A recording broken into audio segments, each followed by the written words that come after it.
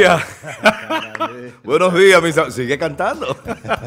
Esta es una buena época para cantar de mañana, ¿verdad? Sí, claro. Y de mañana se canta de mañana, muy de mañanita. Buenos días, mis queridos amigos. Saludos para todos ustedes. Saludos para Sócrates, que comenzó cantando. Eso es un aguinaldo, ¿verdad? Un aguinaldo navideño. Para más falta el jengibre. buenos días, buenos días para todos. Y ya está Fulvio con nosotros también. Buenos días, Fulvio. Buenos días, amado. Buenos días, Sócrates. Gracias a Telenor Canal 10 que nos une con todo el mundo. Y como siempre, un abrazo grande a todos los dominicanos que están fuera de su terruño querido desde aquí, desde mañana. Así es, dentro de todos los temas que trataremos en el día de hoy, Vamos a ver lo que ha, cómo se ha venido desarrollando la crisis en Bolivia. Vamos a ver el aumento o cómo ha aumentado el número de feminicidios en la República Dominicana, el hecho de que en los últimos días se han producido otros eh, acontecimientos. Le metió como 24 puñaladas al tipo a la última. ¡Wow! Es increíble lo que está pasando. Había odio. ¿Tú te imaginas eh, eh, el animus mecánico, el deseo criminal de ese tipo de darle tanta puñalada? O sea... Ahí tienen que haber mucha vaina acumulada. No, claro, claro que sí. mucho dolor, mucha frustración. Eh, y, poco, poco razonamiento. Claro, también. Conchole. Yo me imagino que Fulvio agarra un cuchillo, por ejemplo, en un acto de ira y le dan a puñalada a una gente y ya de que va a de sangre. Conchole. ¿Qué yo hice? Pero 26 más Fulvio, como que. ¿Qué tú dices? No, no, eh, está afuera. ¿Eh? Bueno, el otro tema que trataremos dentro de todos los demás es el asunto de la falta de parqueos en la, ciudad de San Francisco de Macorís.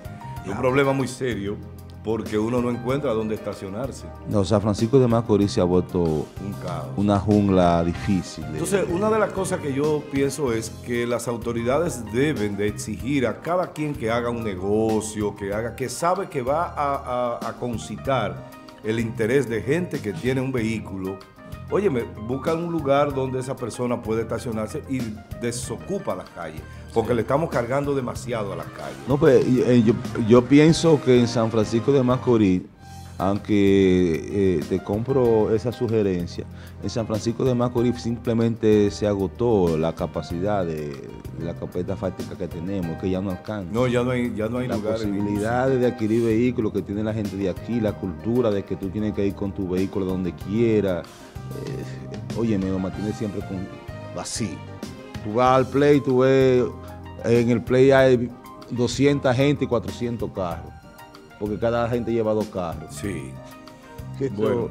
Eso es difícil de resolver así. Es difícil. Bueno, saludamos a nuestra querida y siempre hermosa por la mañana, bueno, y a todas horas. ¿eh? Carolina, Carolina Medina, buenos días. Buenos días, equipo, buenos días a todo el pueblo de San Francisco y a todas las personas que nos sintonizan bien La chica dorada, ya, hasta el vaso dorado. La chica dorada. No, no, no, es dorado. Es un deseo de echarle vaina a uno, todo. Carolina, tiene que ponerlo de este lado el vaso. ¿Por qué? Tú lo ponías así antes.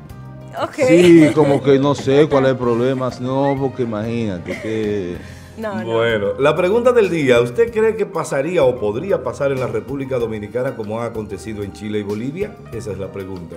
Así es que ya saben. Que, tengamos a Pinochet y a, qué, ¿Eh? que tengamos un Pinochet o un Trujillo. la, revolución social. Eh, el, estallido social. La, primavera, la primavera, la primavera suramericana. Suramericana, sí. bueno. Bueno, vamos a ver cómo anda el clima, don Fulvio. Sí, hoy amanecimos aquí en San Francisco de Macorís con neblina. La visibilidad está reducida a 500 metros, Sócrates. ¿La qué? La visibilidad en las vías. Ahora, en este, ah, en este momento, por las neblinas. O sea, medio kilómetro. Sí, sí, sí. Pero el que alcance a ver medio kilómetro. pero, es un robot. para quién? O sea, eh, y eso se reduce para los conductores a, a 100 metros. Ah, ¿Y quién es que alcanza a ver 500 metros? ¿Eh? ¿Quién es que alcanza a ver 500 metros? Lo que viene atrás de uno. Lo que tienen drones. Bien, el, sistema frontal que teníamos frente al Atlántico Norte, a la costa norte de nosotros, se ha convertido en una vaguada. Está generando más humedad y los vientos del este también están arrastrando humedad. Por lo tanto, se espera que continúe lluvias en esta zona norte. y por esto la Oficina Nacional de Meteorología mantiene alerta en la provincia de España, Monseñor Noel, Puerto Plata, San Juan, Santiago y La Vega, por inundaciones que se pueden dar en arroyos desbordándose, ríos y cañadas y algunos deslizamientos de tierra y algunas inundaciones urbanas. Estas condiciones van a prevalecer así hasta mañana. La temperatura aquí es de 21 grados. Se espera que en el día se ponga un poquito caluroso, ya a partir de las 12, 11 a 31 grados. Y ya en la noche pues estaría a 20 grados. Ya los sistemas montañosos están empezando a sentir una eh, temperatura fresca, inclusive es posible que Valle Nuevo y esa zona de Constanza la temperatura pues baje y se acerquen a los 5 grados, 4 grados en algunos momentos de la madrugada. ¿Viste lo que ocurrió ayer en la Antártida? ¿En? En la Antártida. Sí, sí, sí, sí. Eso es un fenómeno extraño. Son fenómenos extrañísimos que se dan. Una lluvia y Carolina, 25 eh, grados bajo cero, eh, que no se congelaba. Sí. Claro, una cosa... 25 grados que duró horas cayendo agua y no se congelaba cuando caía. No se congelaba. Increíble. Una cosa que tú lo lees y cuando yo lo leí, ¿pero qué, pasa con eso? ¿Qué han dicho los científicos? Eh, hay un corredor de vientos que a veces circulan en esa zona que están llevando vientos muy cálidos y esto eh, da una explicación. No obstante, en el choque de la temperatura de tantos grados bajo cero, todavía hay que buscarle una explicación más, más abundante. Claro que sí.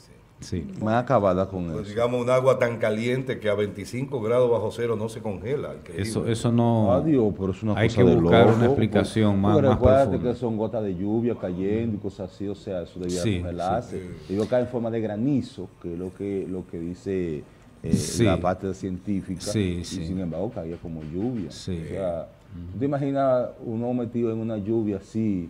Eh, abrazado a otro cuerpo. Eh, ¿Tú crees que haya Yo estoy pensando que él se va a referir a que si tú te imaginas esa situación y tú esperando que el agua caiga fría o que se, se congele. Eh, que, que, que, te sorprenda desropado. entonces, como que...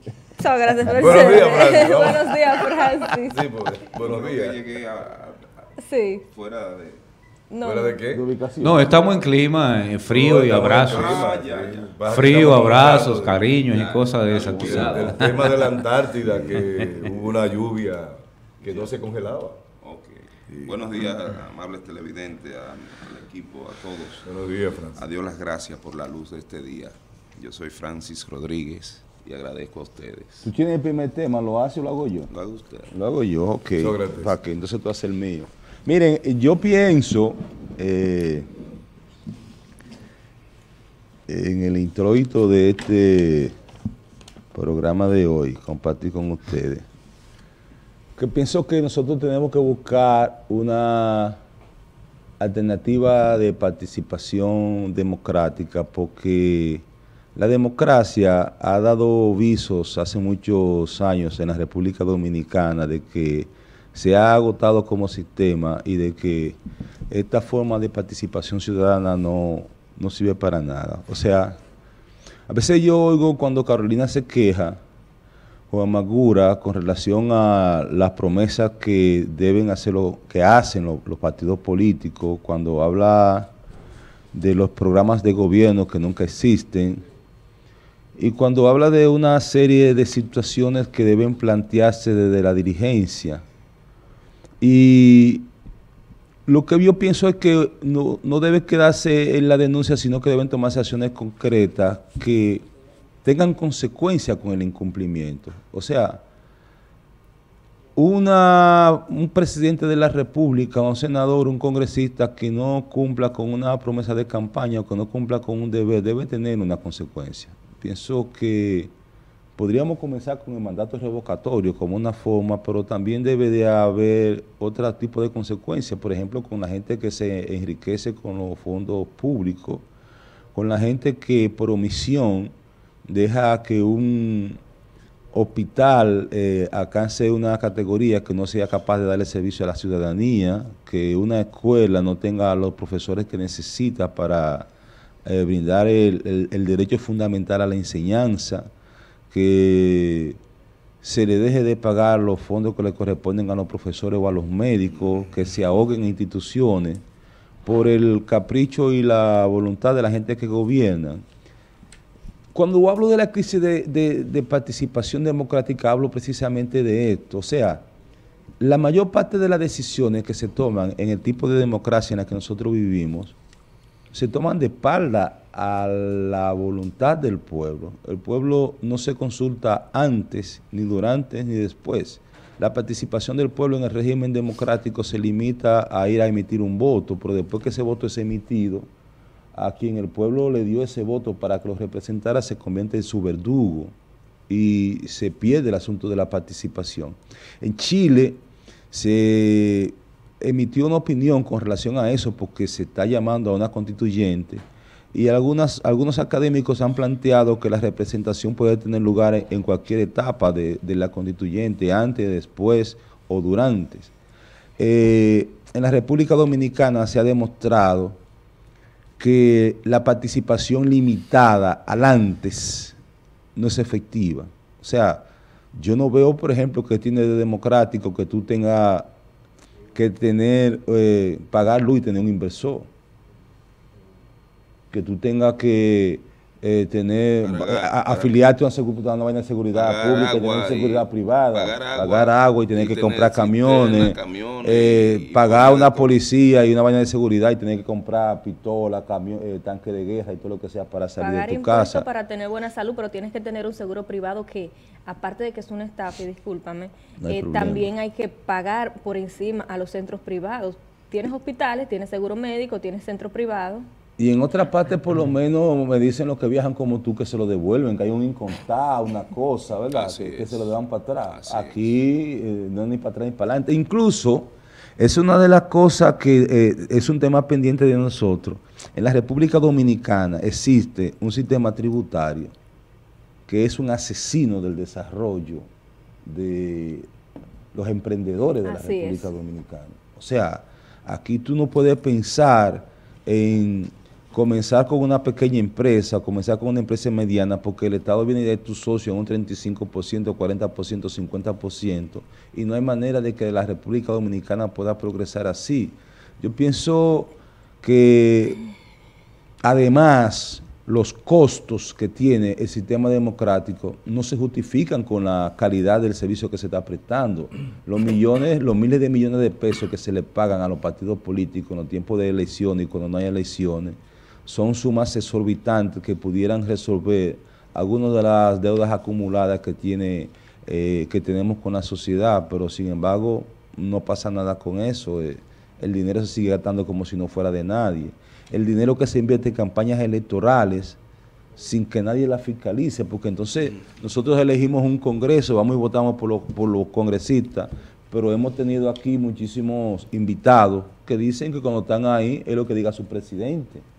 Entonces, ese tipo de democracia no funciona. Nosotros tenemos que ir pensando en una democracia donde si realmente aplicamos el, concepto de término de democracia, que significa que el gobierno del pueblo, el gobierno del pueblo tenga que tomar las decisiones, tenga que ser consultado y tenga que validar las actuaciones que realizan quienes actúan en su nombre. Porque la gobernabilidad, el gobierno, los funcionarios que son electos, realmente lo que hace, lo que reciben es un mandato, un contrato de mandato. Mira, Yo decir algo, dímelo. Mira, la, democracia se basa en la libertad. Y realmente hay libertad. Yo recuerdo que cuando estudiaba Derecho, uno de los, bueno, la materia más fundamental era el derecho constitucional y uno de los autores, o el único autor que uno prácticamente conoció en ese momento, ¿verdad? Y yo creo Mauricio Duverger. Eh. Exactamente, Mauricio Duverger eh, instituciones políticas y derecho constitucional. Mauricio Lubeyer tiene en ese libro, era un socialdemócrata, amigo de Peña Gómez, por cierto. Correcto. Y Mauricio Duverger tiene un, un, planteamiento en ese libro, dice, las libertades son reales y formales. Las libertades son formales porque están en la ley, están en la constitución, están en las normas. Correcto. Pero no son reales porque tú no las puedes ejercer. Sí. Elegir y ser elegido. El derecho a elegir y ser elegido te lo manipulan. De alguna forma, de una u otra, te lo manipulan y te obligan a elegir A o no elegir A. Sí. Entonces, hay un tema humano y hay un tema bastante profundo en eso que tú estás planteando. Eh, sí, otro aspecto que en, cuando hablabas de, del emprendedurismo y de un país que supuestamente busca incentivar estas iniciativas de desarrollo económico dentro de, de sus ciudadanos, se habla desde el gobierno y de diferentes instituciones y hasta las universidades están dando pasos para que la gente, los jóvenes, creen conciencia de que hay que desarrollar nuevas cosas, o sea, o que dependan de ti y echar un poco de lado lo que es el empleo. Pero ahora bien, cuando tú vas eh, a iniciar estos proyectos, ahí entra el tema de impuestos, o sea, no hay manera de formalizarte. Porque ¿cómo? O sea, es un gasto muy enorme todo lo que conlleva. Estamos hablando de una gente que está emprendiendo, que se supone que desde abajo que está, es generalmente, que en la mayoría de, los...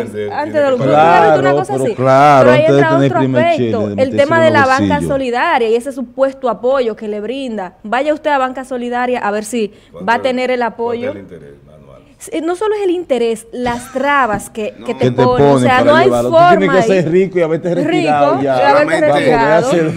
El acceso al crédito está basamentado en muchos casos en la demostración de que usted no necesita realmente el dinero. Así es. Venga. ¿Cómo fue? ¿Cómo fue? Eso es una frase que lo resume todo. Que, eh, repite la, el acceso al crédito está, fundamentado, en que usted demuestre que usted, no lo necesita. necesita realmente, pues pero va a usar el dinero. Pero no voy a ir entonces y no lo necesito. Sí, o sea, que el crédito dame para rico. Para que no lo necesita. Porque tú tienes, que, tú tienes que llevar como 10 veces lo que te van a apretar. Así mismo, es y si no lo tiene, busca un garante que tenga 10 veces Pero claro, claro que sí. Hoy día, obviamente que hay que recomendarle que evite ser garante de nadie por amistad o por familiaridad. evite el crédito. Porque va a perder. Claro, claro. ¿Ves? Sí. Entonces, va a arrepentir de esta muchas de estas cosas son ficciones, son propuestas que son halagadoras el emprendedurismo en República Dominicana también proviene de una clase social alta, donde el muchacho sí adquiere la experiencia. 11.5% anual, el mejor, la mejor tasa del mercado. Correcto, entonces, pero es hijo de un pudiente.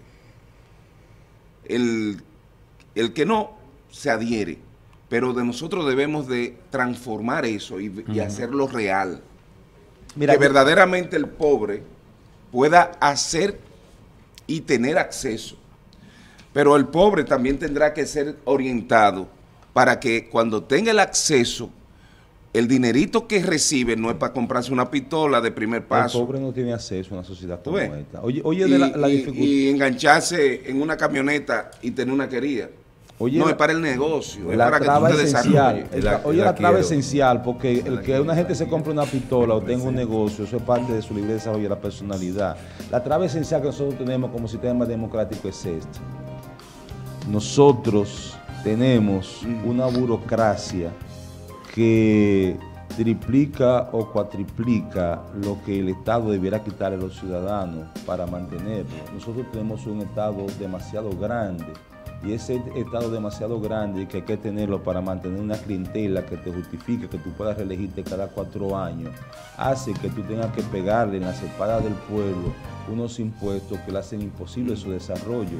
Hasta que nosotros no tenemos conciencia de que nosotros tenemos que limitar el tamaño del Estado, que nosotros tenemos que eliminar tantas ah, instituciones que tienen duplicidad de funciones, de que nosotros tenemos que eliminar una de las cámaras, de que nosotros tenemos que poner un tope a la nómina pública, que cada presidente que venga no la agarre con 100 mil, porque siempre el presidente... Este en seis años la ha duplicado, en seis años.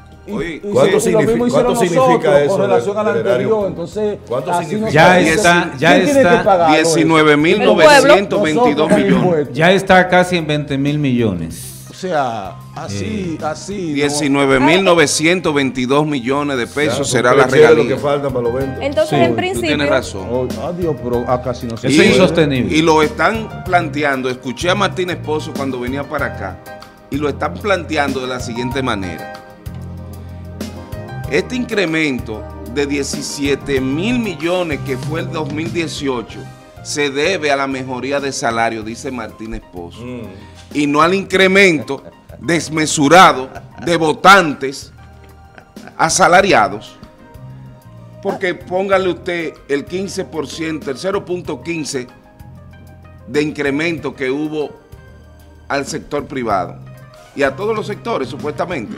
La policía no ha recibido ese aumento. Este es uno de los ¿Cuáles países. Son los sectores que ha tenido ese ¿Cuáles son los sectores este es uno de los países donde hay más peso de funcionarios públicos por habitantes de toda América. claro que sí. Sí, en la Oxfam. Se nota en las embajadas, incluso Carolina. Por las botellas. En el informe que rindió la Oxfam, eh, esos fueron uno de los datos que se, que, se que arrojaron. En, en principio, Sócrates planteaba o de alguna forma relacionaba lo que está pasando en algunos países y, y citabas a Chile y, y, plantear, o sea, qué nosotros necesitamos hacer para que República Dominicana no se produzca un, un estallido social y que de alguna forma podamos eh, resolver todas estas situaciones que tenemos de gubernabilidad en el país. O sea, qué hacer, qué hacer la ciudadanía y qué hacer de salir el PLD. De alguna manera, ¿romperemos con esto o continuaremos con lo mismo? Yo decía ayer y cierro con esto. O sea, esto no, este país, en las condiciones en que estamos y el manejo de las instituciones y del gobierno que tenemos, y si otro entra con esa misma manera de gobernar, no aguanta 10 o 15 años. O sea, no hay forma. Entonces, si no lo resolvemos a tiempo, lamentablemente estaremos como bueno, ellos. Suelta la Quirín, decían unos amigos míos en Mao Alverde. Buenos días, mi hermano.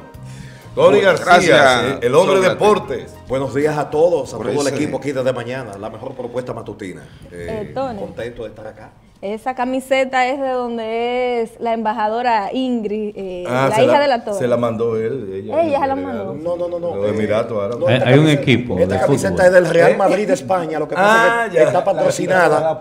Está patrocinada por esa cuestión que dice Fly Emirates. O sea, vuela Emiratos. Sí, correcto. Que también patrocina a otros equipos de distintas ligas. Por ejemplo, el Paris Saint Germain de Francia también lo patrocina esta... Eh, Emiratos. Y la hija de la es embajadora por allá. Sí, pero no lo sabía. No lo sabía. Por eso que veo que te me estás desviando. Bueno. Yo, yo, veo que ella publica cosas aquí en República sigue Dominicana. Con tu deporte, sigue con tu deporte. Sí, sí. Ah, pues la sigue. Sí. Ah, claro que la sigo. Oh. Señores, en el día de ayer fueron entregados los premios de novatos del año de las grandes ligas, tanto en la Liga Americana como en la Liga Nacional. En la Americana, pues, el cubano Jordan Álvarez se convierte en el quinto eh, de esta nación en hacerlo a nivel de grandes ligas. Los anteriores fueron en su año Tony Oliva en el 64, 1964, José Canseco en el 1986, José Fernández en el 2013 y José Abreu en el 2014. Jordan Álvarez conectó un total de 27 cuadrangulares, mientras que en la Liga Nacional, Pete Alonso, el novato de los Mex de Nueva York, con una temporada de 52 vuelas cercas, fue indiscutiblemente el más valioso. ¿Y de dónde es? Eh, de los Estados Unidos, Pete Alonso. El outfielder Daryl Strawberry fue el, el, que ganó el último premio de los Mex de Nueva York en el 1983. Pero, eh, o sea, de jugadores de posición, pero el más reciente fue el lanzador Jacob DeGrom en el 2014. O sea que ahí están los premios ya entregados, tanto en la Liga Americana como en la Liga Nacional. Eh, no pudo lamentablemente pues acercársele el novato Fernando Tatis Jr., ya que las lesiones se apoderaron de él y no pudo pues darle competición a este jugador de los Mets de Nueva York, que es Pete Alonso, que tuvo una temporada brillante en su debut, eh, rompiendo el récord para un novato con 52 cuadrangulares. no estuvo ni cerca de... No, no estuvo quizás a lo mejor en los cuadrangulares, pero sí en promedio de bateo, en la consistencia, conectando hits en cada momento. Yo creo que no le hubiera ganado, e independientemente de todo, pero sí hubiese competido, hubiese estado lo más, eh, hubiese peleado por lo menos el premio. Eh, los jugadores de la semana de la Liga Dominicana de Béisbol fueron el zurdo José de Paula y el jugador de posición de los Leones del Escogido, Melky Mesa. José de Paula tuvo una impresionante salida el, pasado viernes en el Francisco Micheli de la Romana, donde lanzó seis entradas y dos tercios eh, con el equipo de los gigantes, dándole el triunfo precisamente al conjunto de San Francisco de Macorís y también otra destacada participación el pasado lunes de la semana eh, anterior. Y eh, Melky Mesa, que ha estado pues eh, bateando horrores en, en, la temporada. Un hombre que reapareció, un hombre que en un momento pues pensamos todos que no estaba en béisbol, llega este año de tener una temporada exitosa. Yo pensaba que estaba yo pensaba lo, jugando Ahí estoy yo contigo, yo pensaba lo mismo, para que tú veas. Pero sin embargo, el hombre llegó con los motores encendidos al conjunto de los Leones y está produciendo. Mientras esté produciendo, pues tiene que estar jugando. Claro, claro, claro. En el día de hoy, el equipo de los Gigantes del Cibao rinde un homenaje a Joel Peralta. Es eh, relevista del conjunto nativo de Bonao. Eh, esta noche se espera eh, a las 6.30 una rueda de prensa en la sala en el salón allá del Estadio Julián Javier, en la sala de prensa, y ya para las 7.15 de la noche estará lanzando la primera bola este señor, que va a estar acompañado de su familia eh, y también de personalidades de la provincia de Monseñor Noel.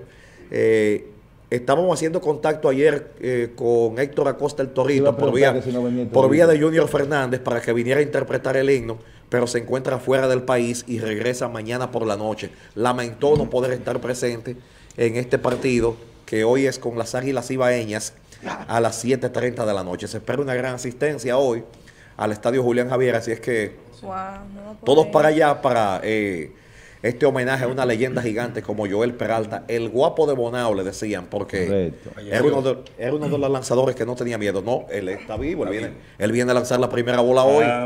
Y, viene caminando. Va Viene caminando y no por base por bola, como dicen, viene caminando. Exacto, Vamos a compartir ya de último eh, el gráfico de la tabla de posiciones. Eh, así está el asunto. el equipo de los Leones del Escogido con 16 y 8 en primer lugar, en tercero con 24 partidos jugados, todos los equipos. 13 y 11 para los Toros. Eh, Licey empatado en segundo con los Toros, 13 y 11. El equipo de los Gigantes con 12 y 12 jugando para 500, empatado con las Águilas en la tercera posición. Y en el oscuro y frío sótano allá no están brillando las estrellas. Tienen 6 y 18. Están a 11 del primer lugar y su porcentaje de ganados y perdidos es para 250 solamente. Yo creo que es muy difícil que el equipo oriental eh, y también con el conflicto que existe, la atmósfera eh, de, de tanta contrariedad que existe en esa organización, pueda salir a flote este año. Vamos en 24 eh, juegos, Tony, ¿verdad? Eh, van por 24 juegos. Ya hoy, ya hoy finaliza la primera, mitad. Están los primeros 25 ya jugados al, día de hoy. Y ya a partir de mañana, pues, inicia lo que es la segunda mitad de temporada. al día de hoy estamos empatados con las Águilas para la final de clasificación de los primeros cuatro y para el round robin. Y el equipo de los Toros está empatado con Licey, únicamente con una ventaja holgada. el cuarto lugar, que es interesante para, para cubrir el round robin. Sí, y el equipo del escogido, que tenía una ventaja holgada en aquellos momentos, ya no es tan holgada porque son solamente tres partidos. En un momento tenían ocho por encima de todos sus adversarios y ya pues la cosa empieza a cerrarse un poco más. y le hicieron toro, ¿eh? sí, señor. estaban de último. Ahí están ellos. Señores, todo lo que tenemos en deporte al día de hoy. Eh, Carolina, ¿vamos para el play hoy? Wow, no. El, ¿Cuándo es que viene el Licey? ¿El domingo o el sábado? Licey. El sábado. El sábado o el domingo. Vi la, el calendario. Ok, perfecto. Y ahí vamos. Vamos a recordarles a ustedes que LIR Comercial es la tienda del hogar que usted debe de visitar. Te recuerdo las grandes ofertas que tiene pre-Viernes Negro. Dos televisores por tan solo 14,295 pesitos. Escuche bien. Te llevas una de 32 pulgadas y una de 19. Televisores Smart y además las dos bases gratis para tu televisor. En las 34 tiendas a nivel nacional que tiene LIR, usted puede encontrar estas grandes ofertas. Una pregunta, ¿yo puedo ir a buscar la base gratis? No. yo necesito Ah, una. No. Sí, sí, tú puedes, tú Sí, puedes. Claro compra los dos puedes. Yo no televisores y quiero se la la oferta, gratis. yo quiero la base La gratis. base. Mira que es gratis, sí, claro. No, no. Recuerda que en LIR comercial todos califican. Bueno, y yo recordarles que Asociación Duarte te recuerda que vuelve el mega ahorro con ADAT por cada incremento de mil pesos en tu cuenta de ahorros.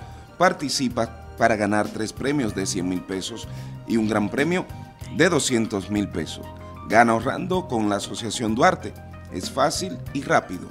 Consulta las bases www.adat.com.do. Promoción válida hasta el 15 de noviembre 2019. Eh, ciertas restricciones aplican. Asociación Duarte de Ahorros y Préstamos adaptados a tus necesidades. Recordarte, Debí retratando que- que ayer con el malvete. ya me retraté con el eres mal. necio, eh, te lo- Se lo mandé. vi, Se lo lo vi. mandé. Fui a ser. Asociación Duarte como debe ser. Cómodo, fácil y rápido. Sí, sí. El 2020 ya yo lo tengo. Ya. Sí, Malvetti. Fácil, cómodo y seguro. Yo Vehículos meses- desde Yo tengo un mes ya que lo puse. 2015, Pero tú 3 no mil pesos. exonerado. Vehículo hasta el 2014, 1.500 pesos. Recuerda renovar tu malvete a tiempo 2020.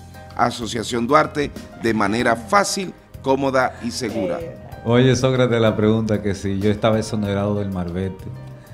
Eso, Adiós. eso lo dijo él ayer y tú. Bueno, mis amigos, vámonos a una pausa. Cuando regresamos hay más contenido del programa. Buenos días. Buenos de días, mañana. Buenos días. Pon el café, prende el café. Y si está por seca por aquí, traigan.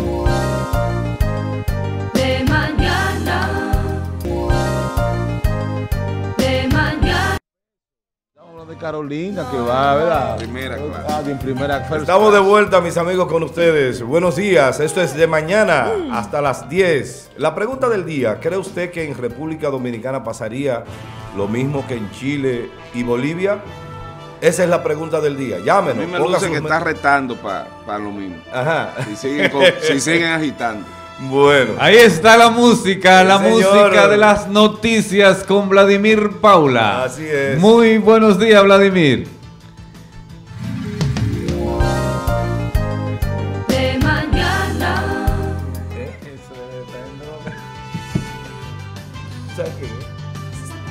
No es, no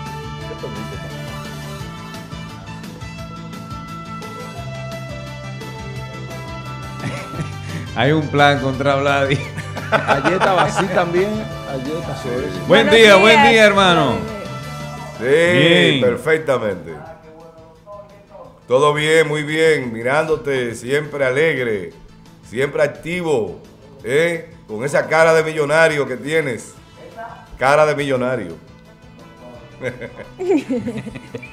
Yo no he dicho que es en dinero, puede ser en felicidad. Claro. Vladimir Morales, ¿cómo te sientes? Sócrates, millonario en esas casas de cartón, pero de lombrices. Sí. Sí. Tirando para adelante. En México, en México nos juntamos. Aquí presente, a Dios las gracias. Buenos días, Vladimir. ¿Cómo estás? Muy bien. ¿Cómo fue?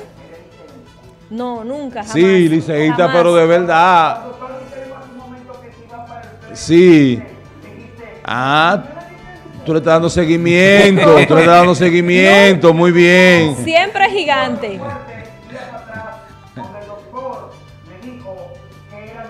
No, no, estoy aquí, Lucho, sí. No, Sí, sí, yo. Siempre gigante. Tú sí, pero yo soy aquí. Hermano, aquí estoy desesperado por escuchar tus noticias. Diputados y el presidente de la Junta Central descartan que el voto automatizado pueda ser vulnerado en elecciones como pasó en Bolivia. Así que vamos a ver esta información que dice tanto Julio César Castaño como los legisladores. Adelante. Bolivia no tiene voto automatizado, ni tiene voto electrónico. El fraude sí lo hubo. Se hizo ahí en un sistema que con boletas físicas y con conteo manual. Eso no es posible en un sistema de votación que es sumatoria. Usted votó, se fue su voto. Voté yo, se fue su voto. Eso no es posible. Pero allá fue posible. Bueno, por eso eso El lo informe de la Yo no puedo. Mire, lo primero es que yo no tengo el informe ni, ni estaba de observador allá. Lo que yo sí soy es actor de la República Dominicana y sé que aquí se hizo un proceso transparente. Porque lo que le sale es lo, lo que usted votó y usted valida su boleta, que es por eso fue que usted votó.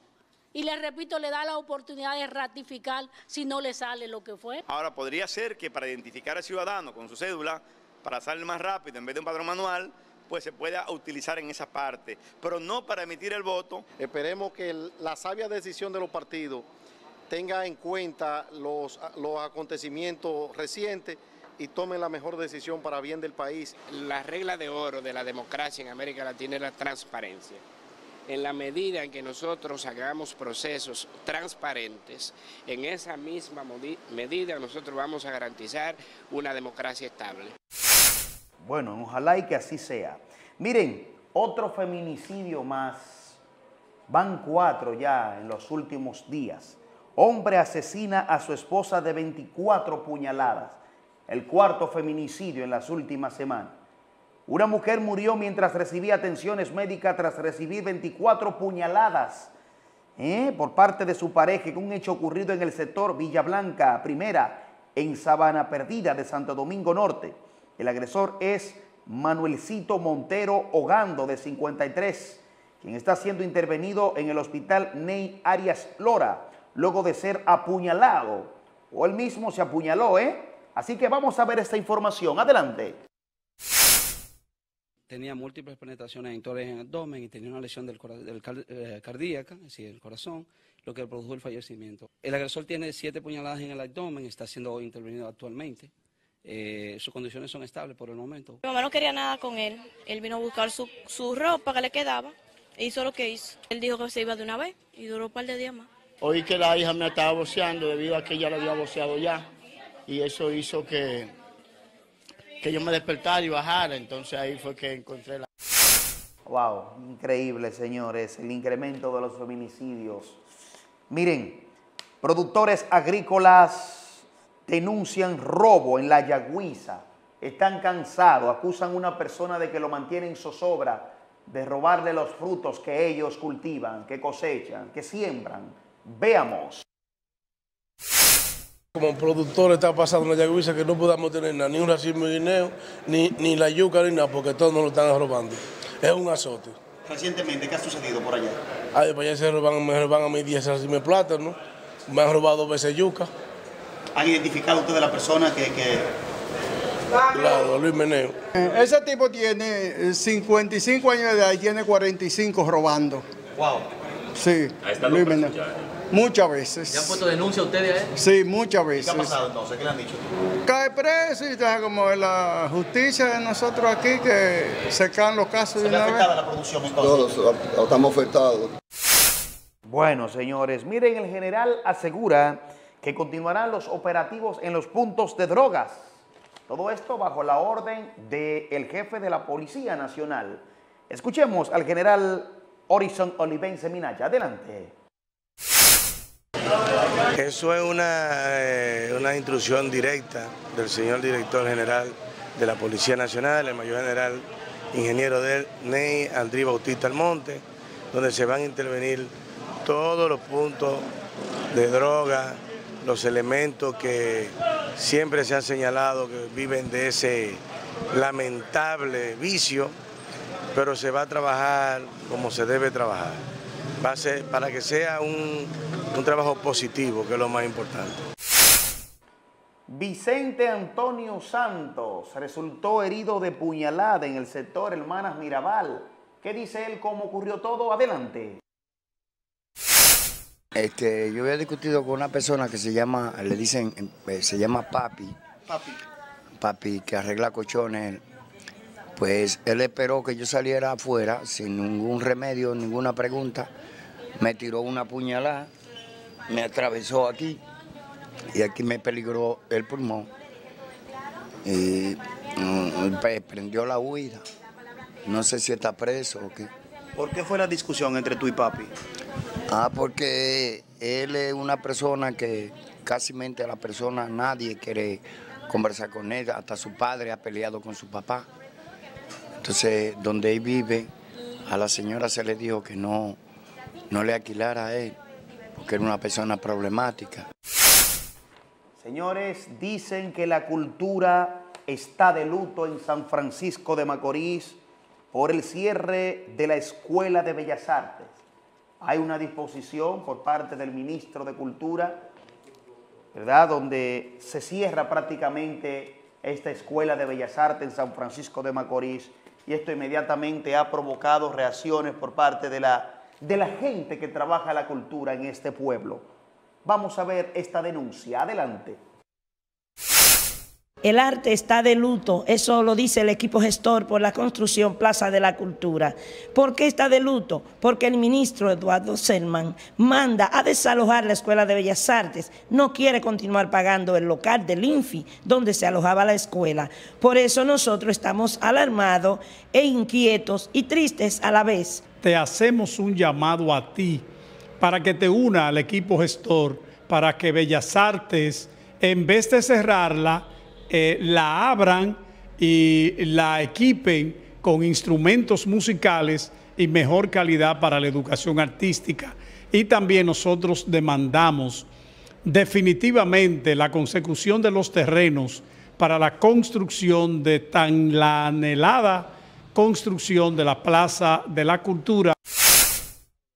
Así como decía José Manuel, en vez de cerrarla, debemos de equipar y de reforzar a Casa a Bellas Artes aquí en San Francisco de Macorís. Pero qué lamentable. El agua número uno en consumo de todos los nordestanos es agua Randy Lime. 100% purificada con sistema Osmosis, tan dominicana como tú. Llámenos al teléfono que aparece en pantalla para servicio a domicilio, porque no es lo mismo un botellón de agua que un botellón de agua Randy Lime. Agua Randy Lime, la número uno. Qué bueno. Señores, bendiciones no hay tiempo para más. Gracias por habernos permitido llegar hasta sus hogares. No, que no tengan un feliz resto del día.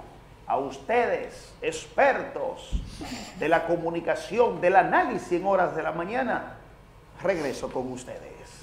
Bye bye, chico boliviano. Gracias, Bueno. nuestro amigo Vladimir Pablo, muy, ¿verdad? Muy circun... Sí. no, circunspecto, no, muy distendido. Eh, esa noticia de Vladimir. Sí. Bueno, señores, buenos días. Seguimos con ustedes hasta las 10 de la mañana.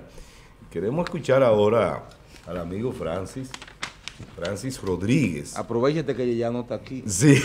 Bueno, muy buena crítica me Eh. hacen en la calle de- del programa. Ay, ay, ay. Debemos mejorar. Eh. Miren, con la visita de Siquio ayer, identifiqué lo que ya está corriendo en noticias, información y en analistas. Y yo he calificado de que el PRM está siendo asediado por kamikazes de la política. ¿Cómo? Wow, man. que son del bando contrario, pero lo han enviado para que eviten los acuerdos que el PRM y la Fuerza del Pueblo y los partidos se logre. Eso no lo va a evitar nadie, Francia, en el país. Pero veo que están ustedes, los PRMistas de aquí, de San Francisco, viendo con muy buenos ojos la llegada. Y no está mal, porque Siquio es una persona que tiene sus luces y ha sido un dirigente, como en él algunos municipios el cambio, pero no, Pero- no es el común. Pero cuando nosotros vemos que los acuerdos son en torno a una estrategia política de avanzada con propósitos claros de unificar criterios, yo hago la pregunta. Lo que se requiere es que el político tenga muchos votos o es que el partido y la coalición tiene los votos. Porque están dando muestra aquí, si están sorteando entre unos y otros, de que no es la coalición, sino el individuo que va a representar la coalición la que va a llevar los votos. Eso es mentira, ¿eh? No lo tiene ningún individuo. Yo creo que no. Exacto. Yo lo que sí creo que si la coalición de partidos se une y es Emmanuel, o soy yo, o es Sócrates, o es... Quien sea. Quien sea, tiene que ser el candidato ganador. Es que aquí se dan eh, condiciones totalmente distintas y especiales, sus generis de esta plaza, que también hay que estudiar. Pero para mí son kamikazes y está pasando en otra, en otra, en otra vertiente. Ni, si, ni el PRD siente que ha perdido a Siquio y ustedes, los del PRM, no reciben a Siquio a plenitud y eso está pasando en, en otros puntos. Pero yo pienso que Siquio no hace la diferencia ni en un lugar ni en el otro. Ya Siquio no es el dirigente que fue en su momento. Siquio se ha ido en términos dirigenciales, en términos de tropas, en términos de seguimiento, de gente que le cae detrás. Ha ido, se ha ido empequeñeciendo con el tiempo, producto del desgaste natural, normal de un dirigente que tiene tantos años en la política y que ha impulsado tantas carreras en la política, como él mismo lo dijo aquí. Entonces no creo yo que sea tampoco eh, un cambio radical el hecho de que él llegue o el hecho de que él se vaya, ¿comprende? El, cambio radical viene de, esta perspectiva. Eh, la fuerza del cambio está tratando o está negociando un acuerdo en todo el país con el PRM en vista a conceder ese apoyo mutuo en la senaduría o en la sindicatura para los fines electorales. El hecho de que si QNG llegue al PRM con aspiraciones de ser alcalde, rompería ese acuerdo aquí porque entonces habría que apoyar al PRM para la alcaldía y para la senaduría. Entonces, ese es el elemento que introduce que yo creo que al que Francia se refiere. A ese mismo es que me refiero, porque desde un principio han encontrado la única fórmula es mandarle, devolverle prominentes miembros del PRD que salieron del PRM para que de una forma no encontré espacio allá, no esto, que aquello, y me están haciendo la oferta de este lado buscando el individuo que trae los votos. Yo pensé que era la coalición la que llevaba los votos y va a llevar el que la coalición tenga aquí en Macorís? ¿Un senador o un síndico? Mira, la primera etapa es lo que va a permitir la consecuente o la, o la vía de lo que va a suceder en lo congresual, la consecución de los otros en lo congresual y posteriormente en lo presidencial. En lo presidencial correcto la muestra de unificación debe ser sólida. Sí. No aquí, en todo el país. ¿De quién es la plaza? ¿De quién? ¿De quién es la plaza? Del PRM. ¿Por qué necesariamente hay que dársela a la fuerza del pueblo? Si ustedes pueden ir solo, váyanse. No, no. Porque, mi pregunta. yo sabía. No, no, no. La respuesta, la, respuesta, política es, es, que la coalición. que el acuerdo no se ha hecho en base a quien domine plaza. El acuerdo se ha hecho para todo el país, para, la fines de, de, bancar. pero hay que analizar muchas cosas. Ustedes no solamente el poner una figura, sino crear un impacto. ¿Y a dónde? No, pero, escucha, Fulvio, es que en, la, en las condiciones en las que el PRM y, la Fuerza del Pueblo vayan aliados, no se necesita ninguna figura que cree ningún impacto, es inderrotable. Pero oye lo que pasa. Con cualquiera de los candidatos oye lo que pasa, no es poner un nombre, un fulano de tal, hacer un candidato, no, es que hay que hacer un alcalde en 60 días. Pues para eso dejo yo a, a Ale Díaz. Hacerlo. Hacerlo. Alcalde, no candidato. No, porque recuérdate que cuando, se barajaron los nombres, por ejemplo, de, de Manuel Trinidad, de qué sé yo quién, de qué sé yo cuánto, todas esas situaciones se fueron ah, descartando de cara a, la, a que ellos enfrentaban quizá la mayoría la misma condición que ofrece Leonel Fernández en el Constitucional. Y eso fue uno de los motivos por los, los estudios indicaban que, con Juan José se trabajaba muy bien. Las condiciones de Juan José, él dio argumento que no que no podía ni le interesaba y también que él participó en la primaria todavía eso no está definido diciendo. y lo ata verdad pero los estudios indicaban eso y las bases eh, y, la dirección estaban. O sea, con cualquier candidato no se gana. No. Si la candidata, por ejemplo, de Lucelene no, se gana. No, porque ¿qué es lo que pasa? Con Lucelene no se gana. No, no, quizás sí, eso habría que ver los estudios. ¿Qué es lo que pasa? Nosotros pasamos por traumas en el caso de Félix y pasamos por traumas en el caso de la Alianza Pero ustedes están combinando esos traumas. Terriblemente. Entonces, yo como dirigente puedo asimilar y puedo ver eh, el, mundo político diferente, pero las bases, el militante, tiende a resistirse. Y esa, e, ese deseo que yo quiero, que quiere Francis, de que se puedan endosar esa cantidad de votos, no siempre se da. Y los estudios indicaban un abstencionismo tú has dado, fuerte. Tú has dado en el punto, no quería traer lo del pasado, pero ese, esa misma actitud que hoy tienen son las que han dado al traste con la unidad. Es decir, han roto la unidad, han, han despeñado hacia otro sector. Si tienen la duda en lo que es la coalición y en lo que yo fijo mi posición. No, no, no, no, jamás. La van, a, la van a dañar aquí como lo han dañado siempre. Óyeme una cosa.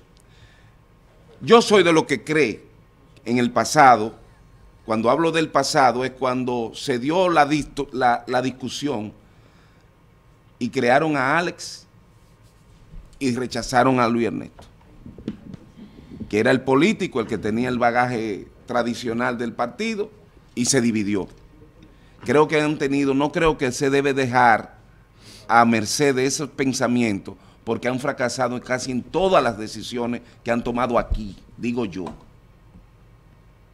en cuanto a unidad, no en cuanto a efectividad del voto, porque son los que son dueños de la plaza. Pero de tal manera que percibo que en el nivel nacional le han estado mandando kamikazes a los distintos puntos para evitar que la alianza se den. Pero, pero se ha mantenido fuerte las alianzas, inclusive antes de ayer Leonel lo, lo, mencionó ayer en una en Bueno, lo que yo veo aquí, y también lo, que yo veo aquí distorsiona lo, que se ve en la capital. Y también lo mencionó Luis Abinader en Santiago en la juramentación de Eduardo Estrella, que la alianza se mantiene, inclusive fortaleciendo. ¿Tú sabes qué es lo que yo aspiro? ¿O qué es lo que yo creo? Que San Francisco de Macorís, la dirección de San Francisco de Macorís, tiene que ir acorde a lo que la cabeza está pensando. porque, somos diferentes. Pero aquí son diferentes. ¿Qué problema es aquí hay, que hay internos que no se ponen de acuerdo o tienen posiciones de quién conviene y no por lo que sea la coalición. Yo, yo, pienso algo, yo pienso que quizás si tú sacas, si tú sacas el apoyo, o sea, si tú apoyas al senador del PLD, pudieras apoyar al, al, al alcalde del el PRM. Problema no está posible. ¿Eh? El problema es que eso no es posible. Eso no, es posible. Porque quien apoya la senaduría es el presidente del partido. y el presidente. El, jefe político, el jefe político del partido. Ya es del otro lado, ya entiendo. Ahí, sí, está, sí, sí. ahí está complicado. ya, o sea, ya. Da más un turno que hay para jugar. Sí, esa es la palabra. Ahí se me Pero simplemente quería traer eso a colación. Analícenlo, pondérenlo para que no se cometan los errores del pasado. Porque yo hoy... que la coalición se gana con cualquiera. yo también. A la alcaldía, tú dices. A la alcaldía y a cualquier posición. Están todos a una de que debemos hacer un una cambio. razón de que, que Lucerina no la gane la alcaldía. Pero claro, es que no hay ninguna, es que no hay ninguna razón, es extraordinaria. Además que ya tiene condiciones. Pero te lo estoy diciendo es extraordinaria. No que, el PRM te diga que hará una modificación exigió que, que, que, en, ejercicio de, lo, de los planes que se están haciendo diga, mira, va a ser Lucelene. A propósito de Lucelene, le dijeron que, que le cancelaron el contrato porque ella no era suplidora del Estado. Pero ¿y cuándo lo hicieron el contrato? No había que verificar si era suplidor del Estado. Claro que sí, lo que pasa es que son ignorantes. Es adrede. No, no, pero claro, eso es, retaliación pura y simple. Pues entonces, yo lo que aspiro es que haya verdaderamente una comprensión de lo que pretende la coalición. Y Para que, juntos. Se pueda cumplir la palabra de que. Es para afuera que va. Entonces, la pregunta Pero no al PLD. A la cúpula. A la cúpula. Exacto. Porque no es con el PLD, no es contra el PLD. La pregunta sería entonces a, Fulvio, que conoce tal vez eh, más, tal vez no, debe de conocer por supuesto más lo que está pasando a lo interno. Tú estás al lado de... Al lado de quien nos debe de brindar guía la, esa la política de Luis Abinader aquí. Ok. Eh, Fulvio, ¿cuál es la situación ahora eh, con el tema del posible candidato a alcalde del PRM y esta coalición o esta unificación de la oposición? Nada más faltaban dos puntos, dijo él ayer, ya lo aclararon. Eso se está tratando en las altas instancias ¿Está de, meditando como de la Fuerza del Pueblo y del PRM. No, eso se está tratando. Hay dos comisiones trabajando y se están haciendo las evaluaciones necesarias Bueno, para pues, a ver qué tratar de, de Vamos tomar a ver el WhatsApp, señores. Vamos, Carolina. Mira, Vamos a ver qué Carolina, dice. vamos, vamos. A lo que llegue el WhatsApp, es importante que la gente entienda que no es un orden desmesurado. Requiere el país, por la institucionalidad, la democracia, que haya un balance y no esté Total. concentrado el poder Total. en un solo grupo.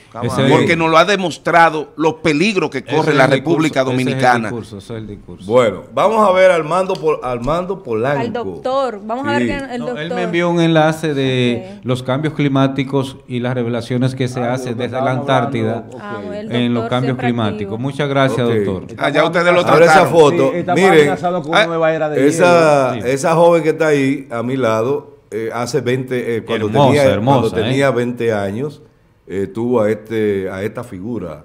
Ah, Sí, Tú- eh, No, no, pero Tú- igualito. es ¿Tú mi mamá. Mi mamá estuvo de cumpleaños ayer, cumplió 81, sí, 81 cumplió. Felicidades. Ramona Isabel Rosa, Blanquita, así le decimos. en Eh, hermosa familia, tu Blanca. madre, ¿eh? Joven, Sí. Que Dios la bendiga mucho y le dé mucha Muchas bendición. gracias, mami, es una belleza de mujer. Bueno, Felicidades. gracias, felicidades a mami, a, a- a- a doña Blanca. Es tu mamá, Eh. la misma foto tenía que tener. Ah. Continuamos. Ah, vamos. Continuamos, vamos a Alberto. Desde el sector Las Colinas, que nos dice buenos días, Dios los bendiga a todos. Es para decirle que nuestro Ah, ya Sector. tenemos sector 24 Santa horas. Luisa ya tenemos 24 horas. Qué bueno, las cosas positivas Ajá. también hay que decir. Están mejores que nosotros. pues. Yo, yo tengo 24 horas y me dieron 3 horas de apagón. y anoche. No, parece que Parece había- que se lo dieron a ustedes y nos lo quitaron a nosotros. No, no, parece que hubo un fallo. Reinaldo Hernández. eh, No, no, pero está bien. Y, y óyeme, no solamente criticar, si ya se cumplió, ellos deben de ser responsables y resaltarlo. Sí, claro sí, que sí. Lo no- único que nos siguen dando como favor lo que nos corresponde por derecho. Exacto. Eh, saludos jóvenes aún. eso, resumimos, resumimos, Sócrates. Dice, Eso es Sí, filtraciones hombre, en centro de en centro de la atención primaria. En Ok, Moscos. bueno. ¿Cuáles son una denuncia de que conocidos por las autoridades de servicio? El daño que por año viene presentando el centro de salud, evidenciado serios daños en su construcción, unido esto a otras malas inherentes al, al área. Bueno. Vaya. Vamos a Continuamos, Virgilio vamos a brincar, Fernández. Vamos a brincar. Dice, buenos días para todos. Donde no hay instituciones fuertes y transparentes, no se puede hablar de democracia. Sí, Vamos a ver. Continuamos eh, con Ahí que están las debilidades. Ah, el marbete. Ahí. Ahí está, pague su marbete a tiempo. Sí, señor, en la asociación. Como yo tengo carro viejo, No, pago no, no, 1500. no, no, no. Asociación Duarte de Ahorro No, y Préstamo. que pagar de eso. Vaya y salga tan contento como Francis. Carolina de fútbol, yo me imagino. No, hay 3000 rayas. Sandy Ahí estoy Roque. cumpliendo con mi deber. Felicidades fel- eh, a mi niña que hoy está de cumpleaños, seis añitos. En ¿Cómo se parque. llama tu bebé? Duarte, Que mira. lo cumpla feliz. La musiquita, por Dios. Feliz. Felicidades para tu bebé Muy seis bien. añitos. Oh, pero en nuestro hermoso Y eso Parque en el Duarte. Parque Duarte. En el Claro. Parque Parece en otro lugar. Claro, que es jugando. Para que se quejen del alcalde histórico, Manuel de San Francisco de Macorís.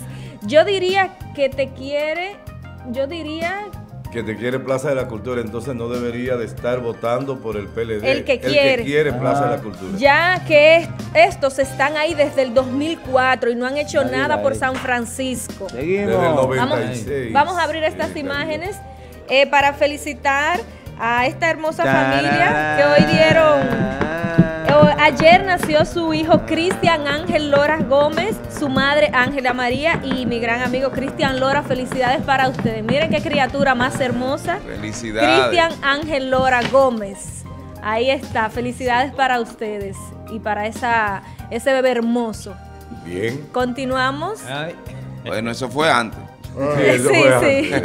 Nos dice el 1977, dice, este pueblo no tiene Moral. Tiene unas personas que tienen doble moral.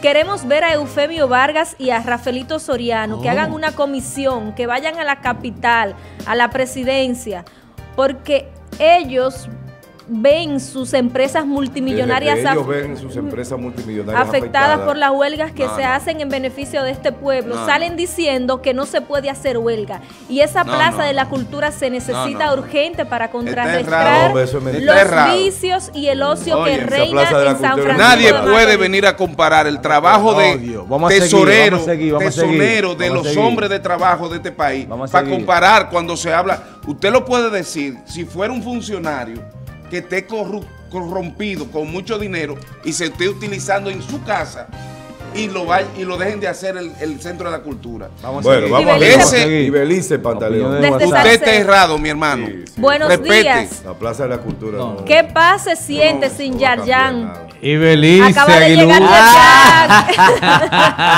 Acaba de llegar Un abrazo. Ibelice, un abrazo. Ibelice Así Pantaleón. es, Ibelice. Salcedo. Asidua seguidora de Eh, Fulvio. Sí, de Fulvio. Ah, amiga, ya mi amiga acabo de llegar. Buenos días, Nikisio. Ni Siquión ni Milady. Ni Siquión ni Milady. ¿Y a quién quiere eh, eh, eh, A Manolo? Lucelene. 76, Bueno, 72. buena opción. Juan Manuel. Buen Ey, día, qué da pena. Qué vergüenza No escuchar al general hablando de las Ay, Dios mío. Reducción. de la reducción en los puntos Le- de le- droga. Le, van a entrar. y ya están todos abiertos otra vez. Ay, Dios mío. Ángel de las Rosas. ¿O lo cerraron los puntos de droga? No sabía, ¿no? ¿Dónde es que quedan esos puntos de droga? Buenos días. Ellos lo dijeron. día.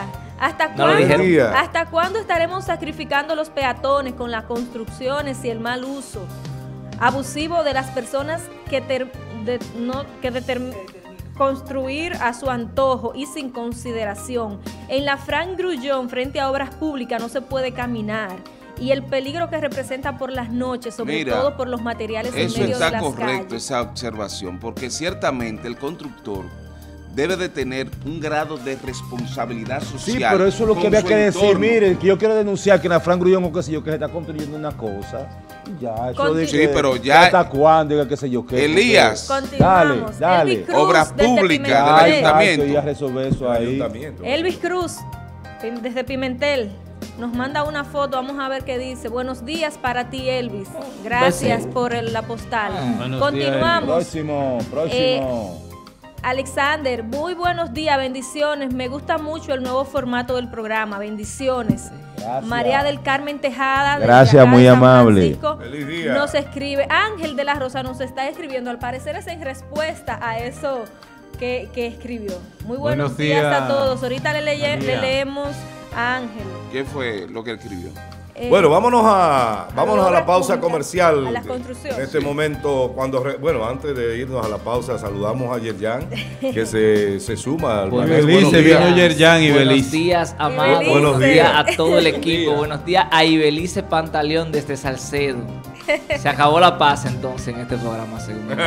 Veo los muchachos que van a, a litigar en el día de hoy. Llegó el insidioso, sí. Eh, bien, días. volvemos en breve, señores. No se vayan. De mañana.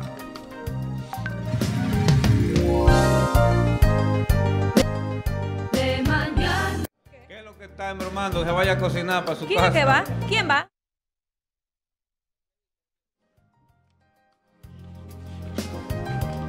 Muy bien, continuamos, continuamos en su espacio de mañana. Y tenemos hoy eh, una interesante entrevista. Estaremos hablando de tránsito.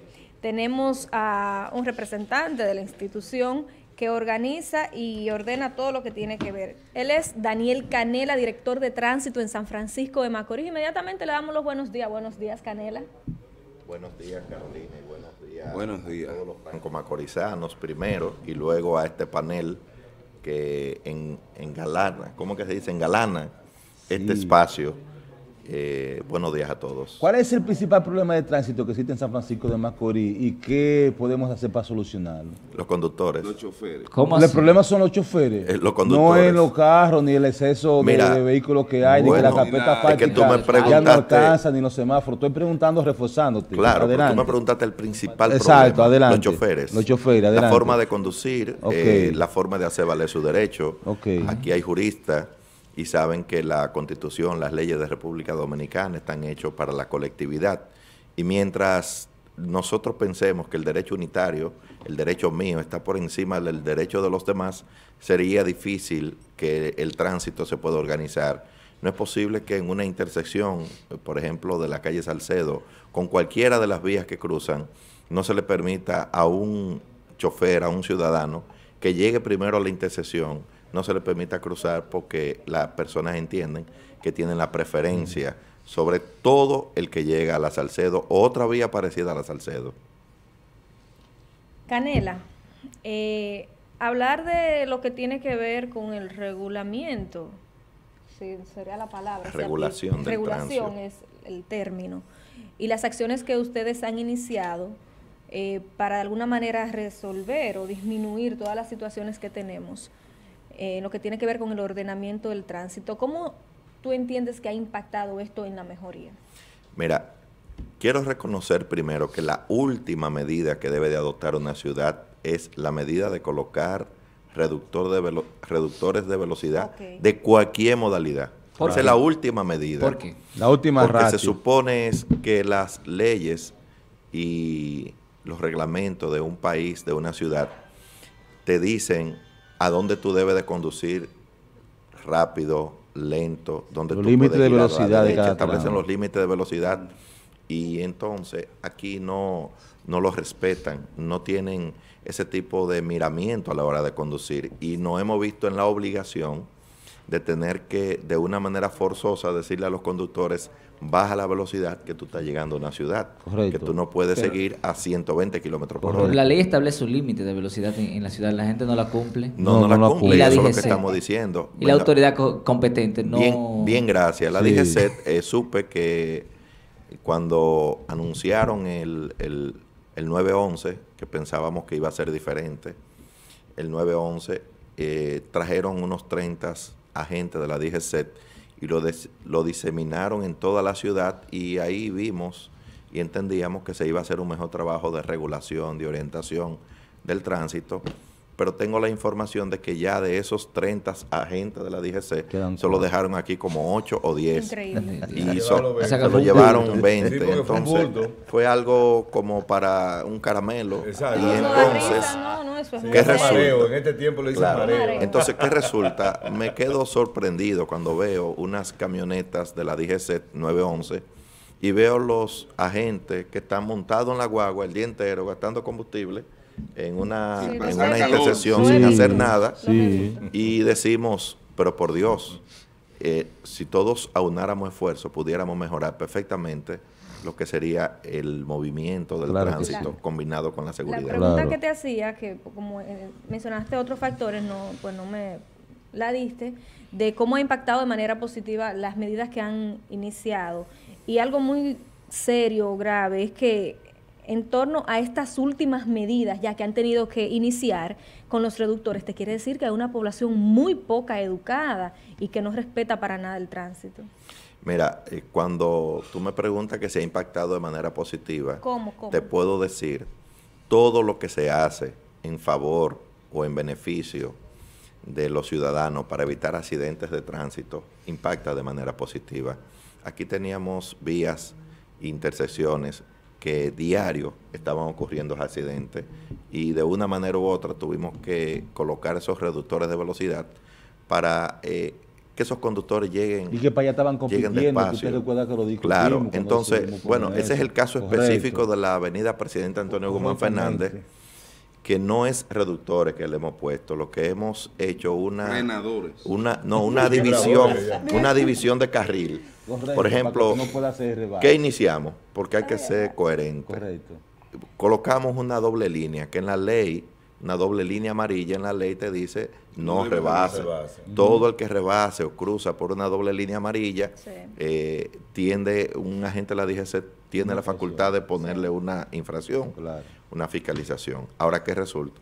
Pusimos eso y con todo y eso, ahí se dieron la tarea de comenzar a hacer competencias, aceleraciones, de vehículos deportivos, que dicho sea de paso, es una adrenalina muy buena, pero también es un gran peligro.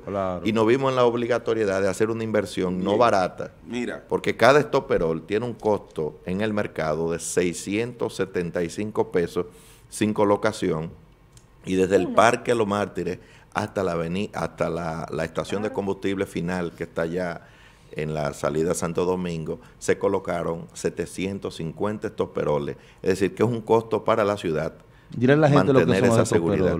Los estoperoles son esas boyas, esos frenadores que se colocan en la vía con un adhesivo y unos clavos que se colocan para evitar que para que los vehículos sientan una fuerte vibración cuando cruzan por encima. Mira, hay algo que yo veo, no lo veo mal, pero veo mal que ustedes no hayan tomado en cuenta que hay intersecciones que debe de respetarse por parte de la, de la dirección de tránsito, la raya intermitente para el paso hacia la derecha o hacia la izquierda. Hay entradas y tienen el cerco. Mira, en que no debiera. En principio. Es decir, está muy bien que en la doble raya se le agregue, aparte de que la doble raya es indicador de que tú no debes cruzarla o rebasar, pero en toda la línea de la Guzmán Fernández hay intermitentes, hay rayas intermitentes, es decir, rayas que, que se nota que hay intermitencia porque tú vas hacia un, a entrar. Un giro. Un giro hacia la Andújar, hacia la, hacia la izquierda, hacia la izquierda a, la, derecha al tejar, ese debe de tener, debe de tener la apertura de ir al giro. Pero está todo cerrado, como que no podemos doblar ni siquiera para la derecha ni para la izquierda. Fíjate, Francis. Y debieron de evitarse ese no, Pero te lo voy a explicar. Lo primero es que en materia de tránsito tú analizas dos aspectos fundamentales. Primero la seguridad y luego la agilización. ¿Qué es lo que estamos haciendo? ¿O qué hicimos? La presidenta Antonio Gómez Fernández en la primera etapa no le colocamos reductores de velocidad, estoperoles, en esas intersecciones.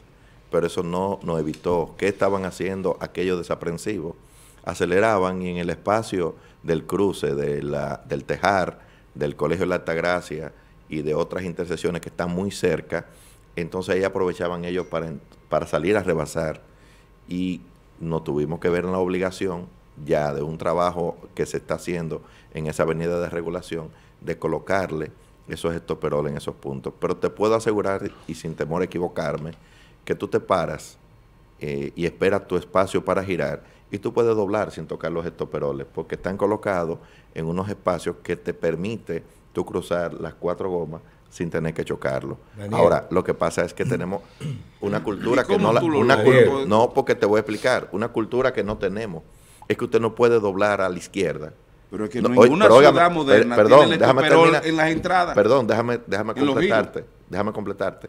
Tú no puedes doblar a la izquierda sin primero detener el vehículo a cero kilómetros. Nadie. Es que nadie puede doblar cuando viene eh, un giro de manera pronunciada sin detenerse. Si tú te detienes y pruébalo de ahora en adelante, Tú puedes doblar no, pero así es que lo he hecho. Sin chocar los No, no, es que siempre lo he hecho. Nadie entra. Y además, si viene un carro de frente, nadie entra como Pedro por su casa, jamás. Y, además, y además, los estoperoles están diseñados para cuando tú le das duro. Si tú lo cruzas despacio, no hay problema. Oye, hay una situación en la Está ciudad incorrecto, que yo, que yo empiezo... Yo Está igual que, los semáforos azules. Francis, déjame hacer la pregunta, por favor. Está incorrecto, que no me hacer la pregunta, no me convenció. Pero no importa, ya ahorita tú le preguntas. Mira, hay una situación aquí, y es que yo entiendo que los parqueos en las calles están colocados de forma que afectan a quien viene conduciendo. Por ejemplo, te voy a poner el ejemplo práctico.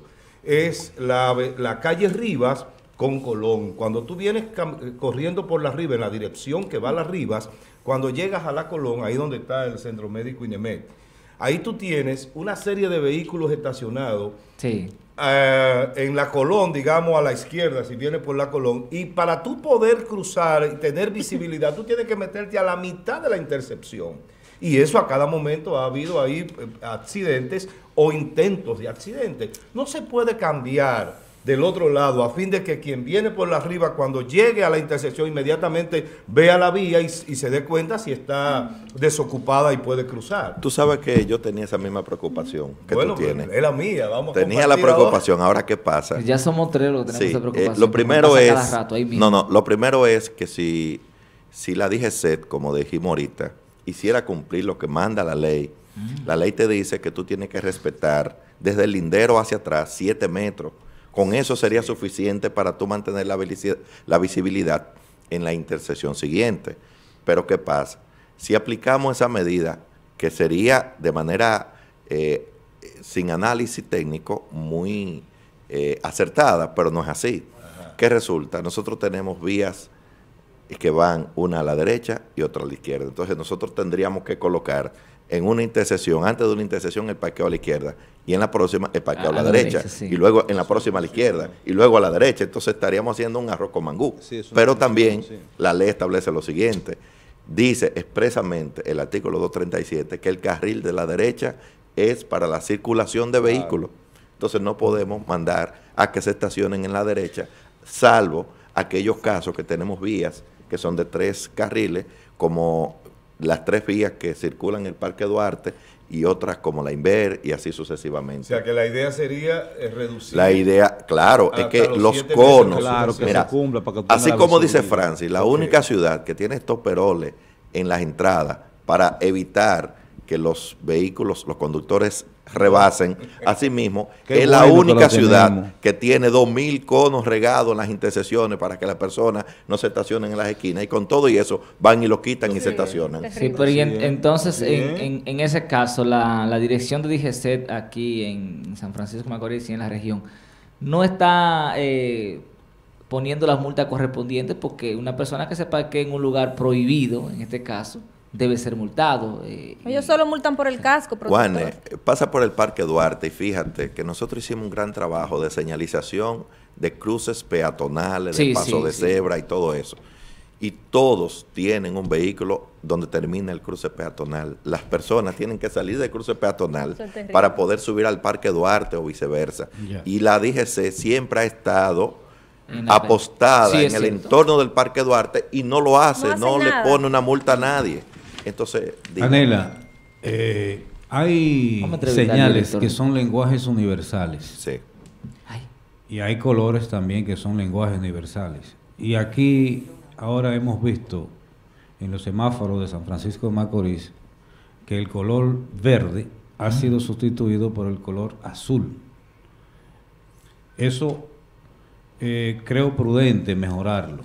Sí, mira. ¿Qué es lo que está pasando con relación a eso? Eh, me voy a ir a un poco a la teoría científica, luminotecnia es la palabra.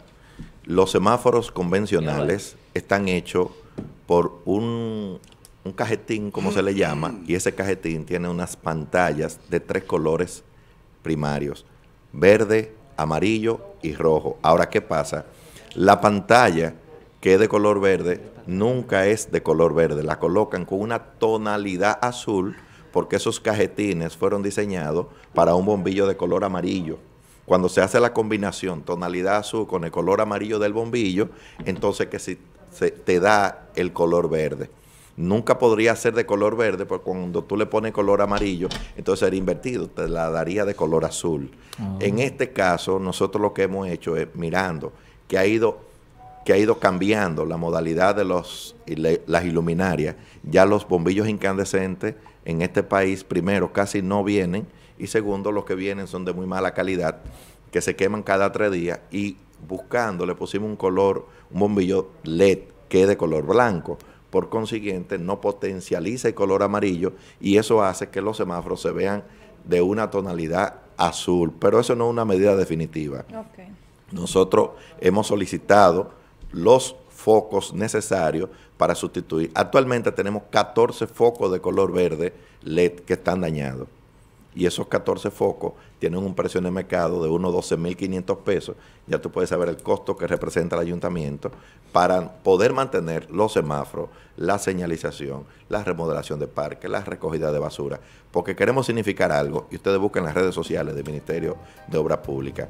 El Ministerio de Obras Públicas usted se va y dice, estamos remozando los puentes, reparando los semáforos, estamos señalizando la calle, pero de Santo Domingo, de Santiago y de otras ciudades. Sin embargo, en San Francisco de Macorís, la ciudad completa solo le está administrando, gestionando y limpiando el ayuntamiento municipal. Canela, eh, entendemos bien esa eh, aclaración científica que das de los tonos, que la... pero, pero quiero decirte algo ahí rápido no puede nunca que tenga una tonalidad azul prestarse a confusión, porque en el semáforo solo tenemos tres tipos de colores: rojo, amarillo y verde con tonalidad azul en algunos semáforos. Ahora, si tú me dijeras que el verde tuviera un color parecido al amarillo. Sí, sí, eso es entendible, eso es entendible. La pregunta que te voy a hacer, porque está bien que lo expliques, que lo expliques, pero la gente lo que se supone que debemos de esperar es que sea verde.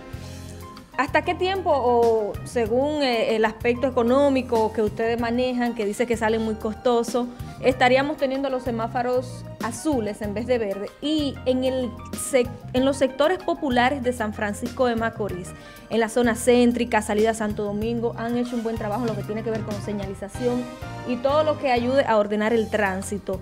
En los barrios, ¿qué están haciendo? Mira, con respecto a la primera pregunta, eh, el proceso de compra de las luces de semáforo ya está colgado en el portal transaccional del ayuntamiento para que los oferentes hagan sus ofertas, porque eso también es algo que mantener la, la transparencia a nivel de compra hace que los procesos sean un poquito más largos.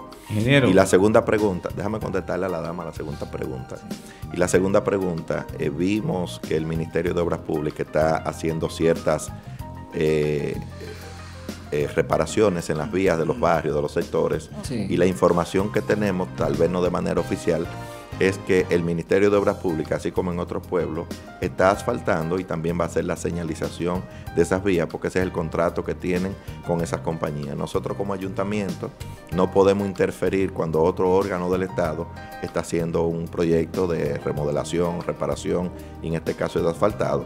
Vamos a esperar a que el Ministerio de Obras Públicas concluya, si ellos no nos dejan las calles negras como lo hicieron aquella vez, nosotros como ayuntamiento, dentro de nuestras posibilidades, vamos a asumir las responsabilidades que nos corresponden. Ingeniero Bucanela, la ciudad sigue creciendo, más edificios se están haciendo, más parqueos son necesarios, más parque vehicular en las calles.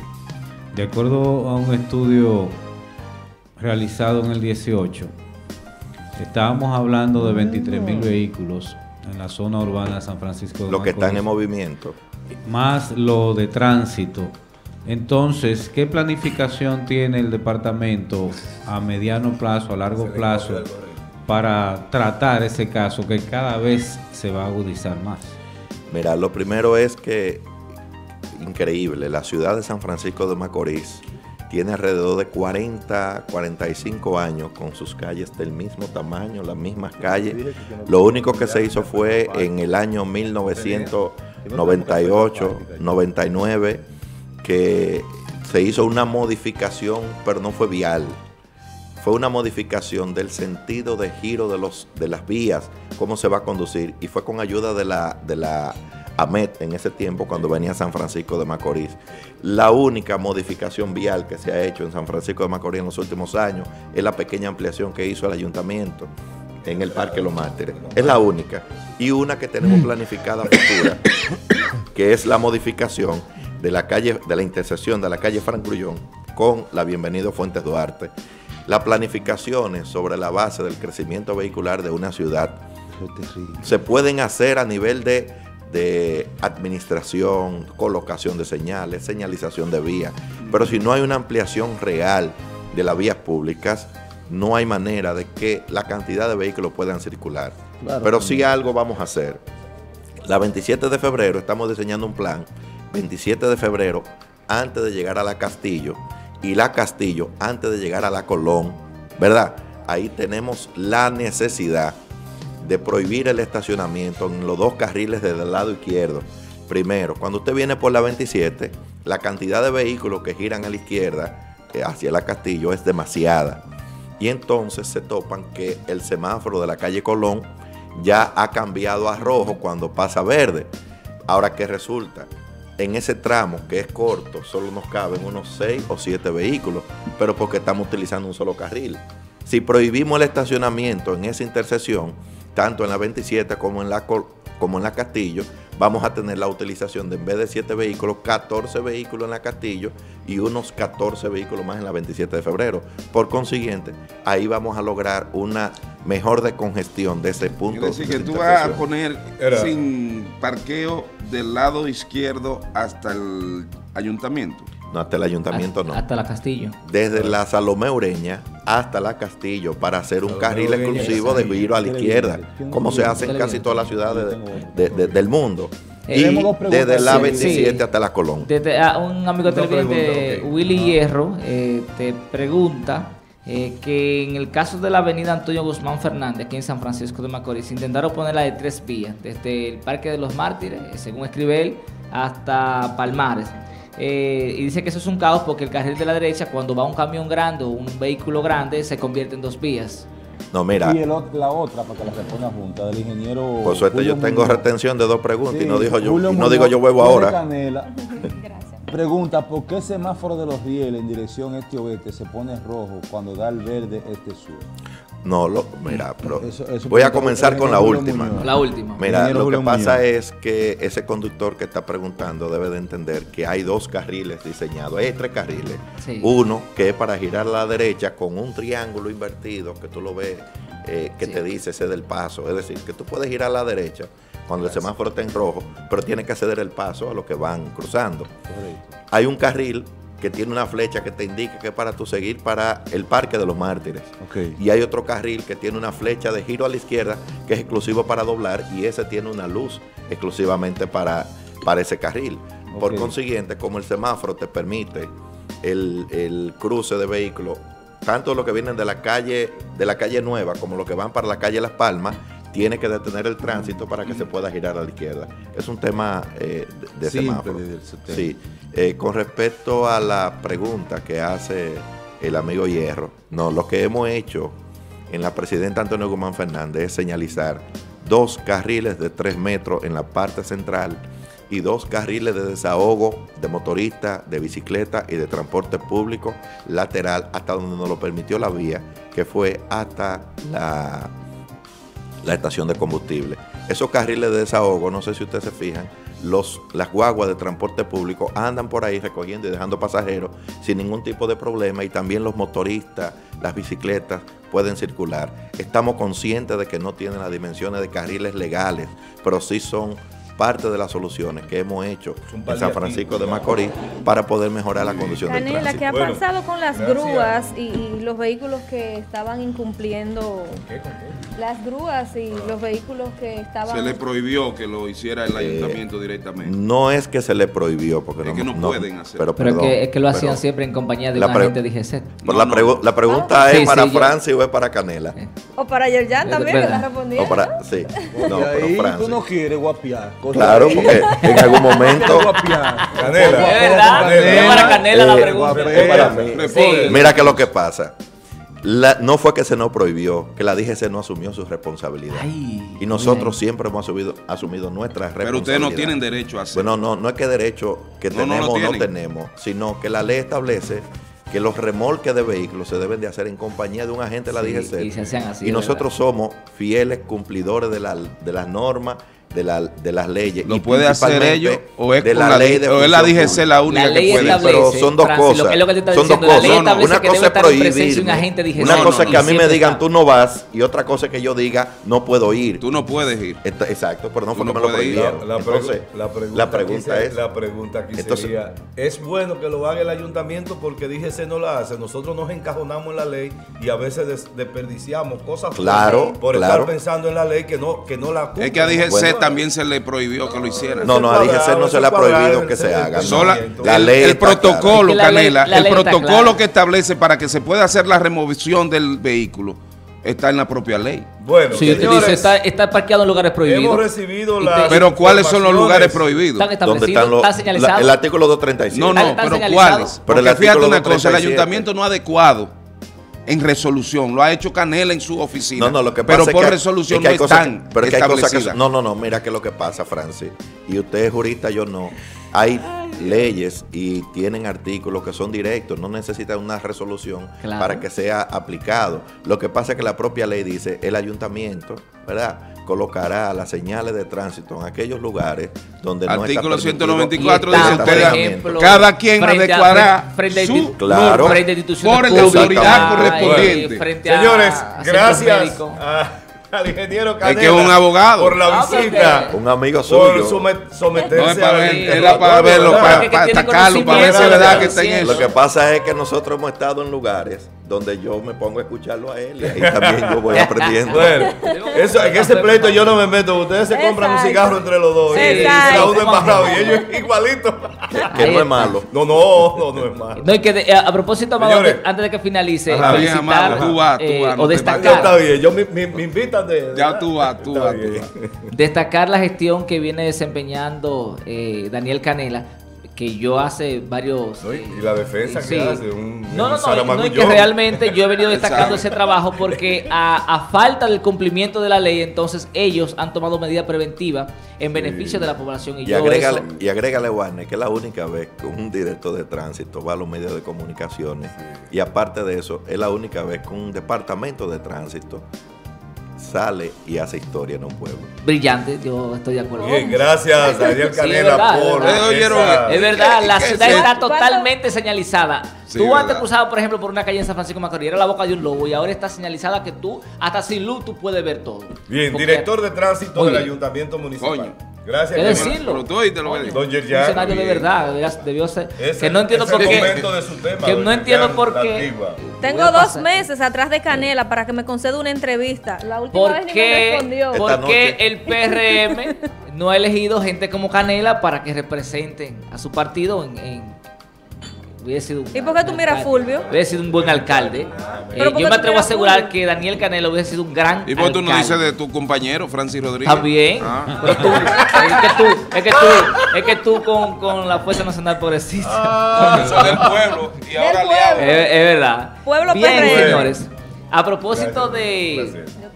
de, de estos temas electorales interesantísimos en la República Dominicana, yo quiero eh, compartir con nuestros televidentes eh, unos datos que están disponibles en la página de, de la Junta Central Electoral con relación al padrón electoral precisamente del año 2020. Atención a las mujeres. Resulta, y, y al muchacho le compartí la, la fotografía ahí, eh, que del, del padrón electoral de, de las elecciones próximas, miren eso, y por favor, si me, está esta cámara que no me permite ver, para estas elecciones del año 2020, para febrero del 2020 habrá 7.487.040 electores. Pero para las de mayo de 2020 hay un cambio ahí, aumenta como unos eh, 20 y tantos mil eh, electores. 7.505.507 electores. Acerquen más el monitor para los viejitos. Ahora bien, en la, Uno en la- no ve en la- mucho. en la última parte de esa eh, fotografía que yo le he compartido, miren lo que establece, y este es el dato más interesante. 3.828.786 son femeninas Son mujeres. frente a 3.658.254 electores No hay equidad de que género son ahí. masculinos. Ahí no hay equidad o de sea género. que las mujeres Son son, ma- mayoría. Y fíjense ahí con relación a eso. Son la mitad y la otra Las mitad de mujeres la otra mitad. nos llevan una ventaja a nosotros los hombres en materia electoral en la República Dominicana de 170.532 electores. O sea que si las mujeres se lo proponen, si las mujeres se lo proponen, Hacen un congreso de mujeres. hacen un congreso de mujeres, llenan los ayuntamientos de mujeres e incluso ponen una presidenta mujer. Ah, tú, estás, tú estás entonces planteando que tu teoría, que tu teoría de la que ha venido defendiendo aquí es correcta. Claro, eh, esos datos eh, que gracias a nuestra gente de la Junta Central Electoral, que está todo transparente, donde nosotros decíamos que la mujer, la mujer no se le puede, ni al hombre tampoco. La mujer es un ser. Oigan bien, a la mujer ni al hombre tampoco se le puede regalar ninguna cuota. Gánesela y especialmente las mujeres que son mayoría. O sea, ya está demostrado que las mujeres, por ejemplo, eh, son mayoría y que ellas deciden lo que se va a poner. ¿Significa eso? Oigan bien, que quienes deciden quiénes son los que dirigen este país son las mujeres, pues son la mayoría. Está ahí demostrado. Pero tú crees que las mujeres votarán por la Eso le decía yo ayer ya. Miren qué interesante cuando, Cuando él nos planteaba el tema así, acá, antes de, hacerlo públicamente, yo decía, es increíble que no ha, no ha habido esa conexión de las mujeres con mujeres en los puestos políticos. Aparte de que la misma como que no están tan adentradas, como que no hay tantas mujeres participando en la política. Y no por el tema de cuota, que ahí yo estoy de acuerdo con Yerjan, que dice, bueno, pero porque hay que imponer. Si usted quiere entrar al mundo de la política, hágalo, no porque un partido dice, ah, no, que tengo que buscar mujeres. Obligado. Entonces tampoco se, se, siente ese apoyo de, de, de, de, la, o sea, de las propias mujeres. Entonces, eh, con relación a esto, eh, nosotros eh, sostenemos la teoría de que no deben existir cuotas, que si los electores quieren elegir hombres, bueno, porque sean hombres en su mayoría, pero que si los electores, en este caso que son la mayoría las electoras, quieren e-, elegir que, que la mayoría sean mujeres, pues amén, que sean mujeres, porque ese es el derecho a elegir que tienen los electores. Es que las mujeres no votan por las mujeres. Entonces, ahí viene la cuestión. la mujer es un ser tan terrible que, ¿tú, te crees que tú te crees que la mujer se, se, cambia, se viste, se maquilla para, para nosotros. ¿Y para quién? Para, las, para las otras mujeres. Para que lo vean Entonces, fíjense ustedes, señores, que las propias mujeres, que tanto que se habla del machismo, el Fulvio que le gusta hablar mucho del machismo, son las propias mujeres que son machistas. Son, las propias mujeres oh, que no votan por las mujeres, claro, salvo algunas excepciones. Por ejemplo, aquí vamos a tener en San Francisco de Macorís una, una y de hecho eh, le hemos tenido anteriormente, una competencia en materia de la sindicatura, donde va una mujer presumimos hasta ahora que contra hombres, o eh, contra un hombre o contra varios hombres, y ahí las mujeres tienen la oportunidad de si quieren poner a una mujer o si quieren poner a un hombre, porque eh, definitivamente son mayoría. Quería compartirle ese dato. Son tan eh, difíciles que las mujeres no vinieron para comprenderla, para amar. que fueron para... No, no, para quererla. Ya, no, te, pongas a comprenderla, si te pongas a comprender, te, vuelve loco. De manera que la única batalla que se gana con ella es mandando. Corriendo, sí, corriendo, corriendo. Bien, señores, en el día de ayer eh, otra mujer más cae y, vengo aquí en esta parte de, eh, en La Vega, eh, una joven fue ultimada. 24, 24. increíble. Esta, no, porque la del 24 fue ayer. Ayer. entonces anoche ah, mataron a otra, una joven, se llama Luisa María Báez. esa es la cuarta. De no, ya van la seis. quinta o la sexta. Seis van esta semana. Eh, de 28 años, una niña prácticamente, y fue ultimada. Eh, este hecho se produjo en la calle 2 del sector Pamarito, en La Vega.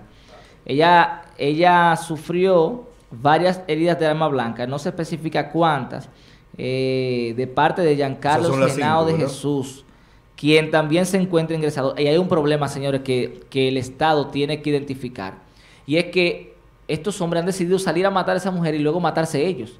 La mayoría de ellos... Es que es un crimen pasional. No estamos Exactamente. el, que mata a su mujer o su amante no es un criminal. Y eh, cuando vinieron aquí las profesionales de la salud de la Universidad Autónoma de Santo Domingo, recinto San Francisco, en el caso de Yané Frías, sí. Alfa Yané Frías, nosotros eh, compartíamos con ella y decíamos que la cuestión ni siquiera tiene que ver tanto con el machismo, es más pasional. Porque no es cierto que los hombres estén matando a las mujeres por ser mujeres. O sea, yo no he visto ningún hombre que pasa por un sitio y mató a una mujer y que, mira, porque tú eres mujer te voy a matar. No, la cuestión está centrada en la pasión, en la relación sentimental que existe entre ese hombre y esa mujer. Entonces, ahí es donde yo creo que el Estado debe poner eh, eh, atención identificar, ya el problema es claro de que es un asunto pasional, ya lo del machismo habría que eh, eh, trabajarlo eh, más profundamente, pero lo que tiene que ver con la pasión, cómo nosotros identificar, porque ese también es el problema, cómo tú identificas a un hombre que tiene la intención de matar a una mujer. Incluso... Hay eh, factores que te van diciendo, un comportamiento, Sí, pero comportamiento previo. En el caso de la, de la joven que mataron en, en la, en la Guayiga, eh, que, Guayiga, fue- ajá, sí. que es, que es una dirigente política del dirigente PLD, del PLD, los comunitarios decían que ellos eran la pareja perfecta. Y eso suele pasar, que hay parejas que, que, que, que se ven perfectas y resulta ser que en una discusión de la noche a la mañana sucedió la tragedia. Pero es porque no era perfecta. Eso, era, Eso, eso, es, no. eso es Eh, una idea que se exactamente, vende. quizás la- es lo la mismo, idea es que lo se mismo vende. que la idea que se vende en Facebook de la Claro. relación. Sí. Eh, mi marido, mi Sí, mujer. eh, sé que- que en redes A lo sociales. interno es que se Olvídese. sabe y las mujeres, Yerjan, deben de estar bien pendientes. Las veces que he tratado este tema, eh, o sea, siempre digo a quienes nos ven, o sea, hay comportamientos previos que te dicen, eh, a veces inician eh, de manera pausada, van subiendo de nivel, lo que tiene que ver con, con este deseo de, o sea, esta, lo que tiene que ver con la posesividad, de entender que tú eres mía, de no Sí. dejarte hacer cosas. revisarte el teléfono. es- este aspecto emocional, luego viene el aspecto, la, la la parte visita a los física. amigos. Sí. O sea, hay un sinnúmero de cosas que te dicen que hay un problema. que con quién tú hablas, que, que, que te persiguen. Ojo con esto, mujeres. Esos hombres, por ejemplo, que le andan revisando el teléfono a usted, que la andan, eh, cuando usted sale para la universidad, ah, eh, usted, usted lo sorprende, que la anda eh, acechando, como se dice, o que le, le, le impide a usted eh, ir a, a donde sus familiares o donde, sus amigos. Como decía la doctora Andrea Majarre, porque yo no soy eh, de, de esa área de, de- de la conducta, son los primeros indicios de que ese hombre va a degenerar posiblemente en violencia. Así que pongan la atención. Fran Tejada tiene un poema que habla de la paciencia. Él dice como que es muy doloroso ver a su mujer tirada en un muladar con un vagabundo sin poderlo remediar. Qué vaina, ¿eh? Es un, pro- un Entonces, poema que habla de eh, paciencia. eso, esos son los primeros indicios. Dese cuenta cuando cuando, tú la el ves, hombre, quieto, deja eso. cuando el hombre comienza a restringirle cosas y a, y a perseguirle, a investigar cosas a usted, ya le está dando indicios de que posiblemente eso va a degenerar en, en violencia a futuro. Y quisiera que me regalen un minuto la producción eh, extra, un minuto extra para, para terminar con la parte de lo que está sucediendo en Bolivia. Y yo quiero que nos veamos en ese espejo, pero no en la parte política necesariamente. Bolivia, que a raíz de una situación que se dio ahí, un aparente fraude eh, eh, provocado por el presidente Evo Morales para continuar en el poder, una actitud que yo la considero de manera excesiva, creo que debió darle paso a otra persona, aunque fuera del mismo partido, y no querer perpetuarse en el poder. Ahora bien, lo que está sucediendo en Bolivia, te- que tras la salida del presidente Evo Morales, es terrible. Han salido, señores, a quemar casas, han salido a agredir a personas. tanto saquear, así- a saquear. tanto así que los legisladores no han podido ir a, a- a reunirse para, para decidir eh, qué va a pasar con el país. ¿Sabe por qué? Porque tienen miedo de que lo maten. Tenemos una llamadita. Buenos días.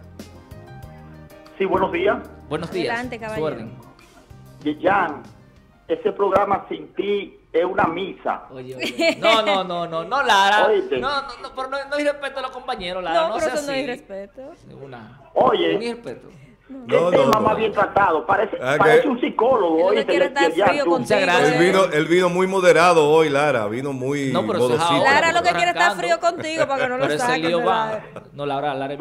Mira, e- e- ese tema, ese tema del feminicidio va mucho más profundo, porque si ustedes observan, después del hombre matar a la mujer, matarse él, eso es profundo, señores. Sí. Porque no es de que por matarla, porque le pegó cuerno o porque le hizo una maldad, no. Eso es mucho más profundo. Cuando el hombre toma la decisión también de quitarse su vida, eso no es de que, que una pena mayor de 40, 50 años, de 100 años, nada de eso. Es un asunto que hay que tratarlo con mucha profundidad, la cual yo te veo a ti, Yerjan, que tú das luz para brindar en la parte psicológica y sociológica de seguir profundizando esos temas para que siga brillando ese programa. Lara, Muchas gracias. eh, yo no soy profesional de la conducta, pero entiendo que eso pasa porque el hombre ve en la mujer su, su universo. La ve a ella como un todo y que sin ella no va a poder seguir viviendo. Y también esa- ese deseo, eh, si se quiere, machista, que, que existe eh, mucho en, en- en Latinoamérica, de que si tú no eres mía, no vas a ser de, De nadie. nadie. Y con esa vaina hay que Mira, romper. ese deseo de posesión que tiene el hombre sobre la mujer. Te voy a interrumpir porque tengo, tengo a Arismendi desde la Universidad Autónoma de Santo Domingo, recinto San Francisco, en, en la cual, en la cual hay, está, se están escenificando unas protestas. Vamos a recibir a Arismendi. a la mujer, esa vaina da pique. Bueno, buenos días.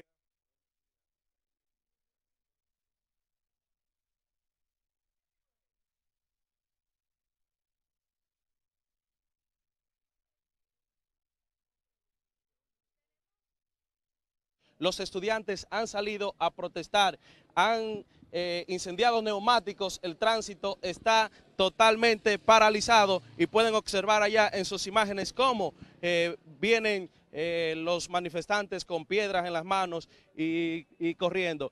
El, el, ambiente que se vive en estos precisos momentos es un ambiente totalmente tenso, enfrentamiento, pueden ver los manifestantes como están lanzándoles piedras a los vehículos. El tránsito está totalmente paralizado en este recinto UAS San Francisco de Macorís.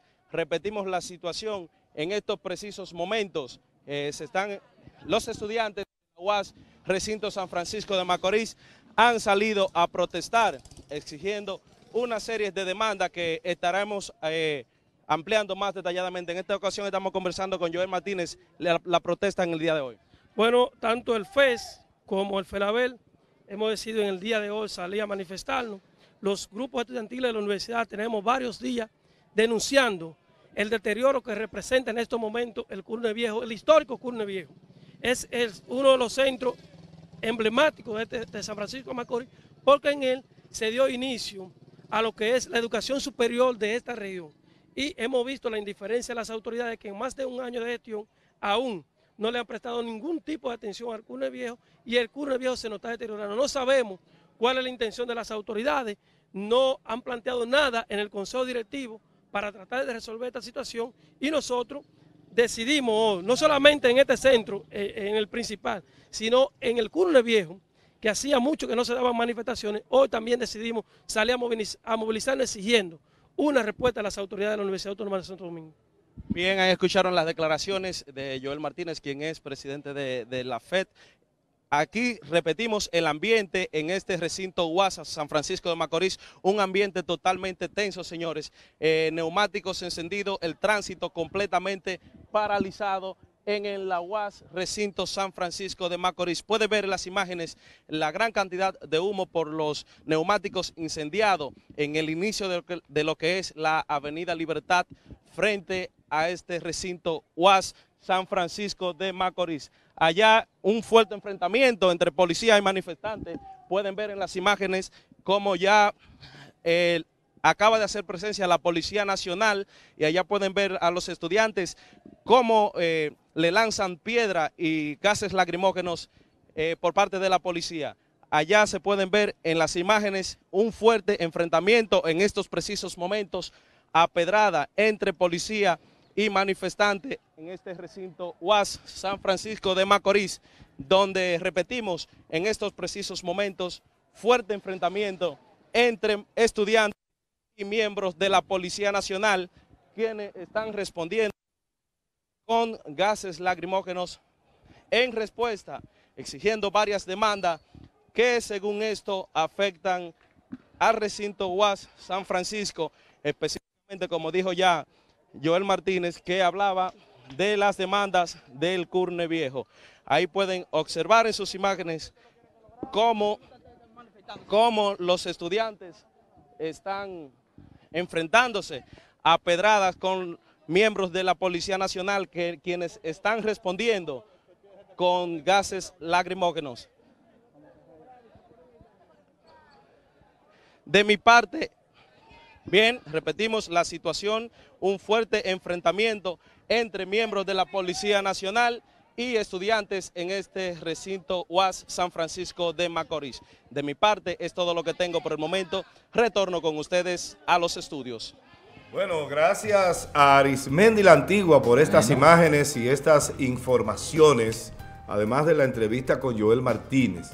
Me parece más de lo mismo, un acto de irresponsabilidad de las los, los estudiantes, del FELABEL, de lo que representa porque yo pienso que se puede dialogar y no hay que llegar a esto. Mira, mira. mira yo creo eh, que eso le hace mucho daño a la no, pero claro, una universidad que está cada día escalando posiciones con un nivel de tranquilidad, digamos, adecuado, y entonces se viene a dañar por, por algo que puede llegarse a un acuerdo. Mira, cuando se suspenden las docencias por estas manifestaciones, a veces yo creo que hay un interés ulterior. O cualquier otra situación que no sea eh, vamos a decir, eh, por situaciones eh, que no estén en las manos de nosotros y que son iniciadas o motivadas por algún grupo, sean los docentes, sean la parte administrativa, sean los grupos estudiantiles, hay que destacar que son miles y miles y miles de estudiantes los que no van a recibir el pan de la enseñanza de ese día, que no van a recibir los conocimientos, que se van a atrasar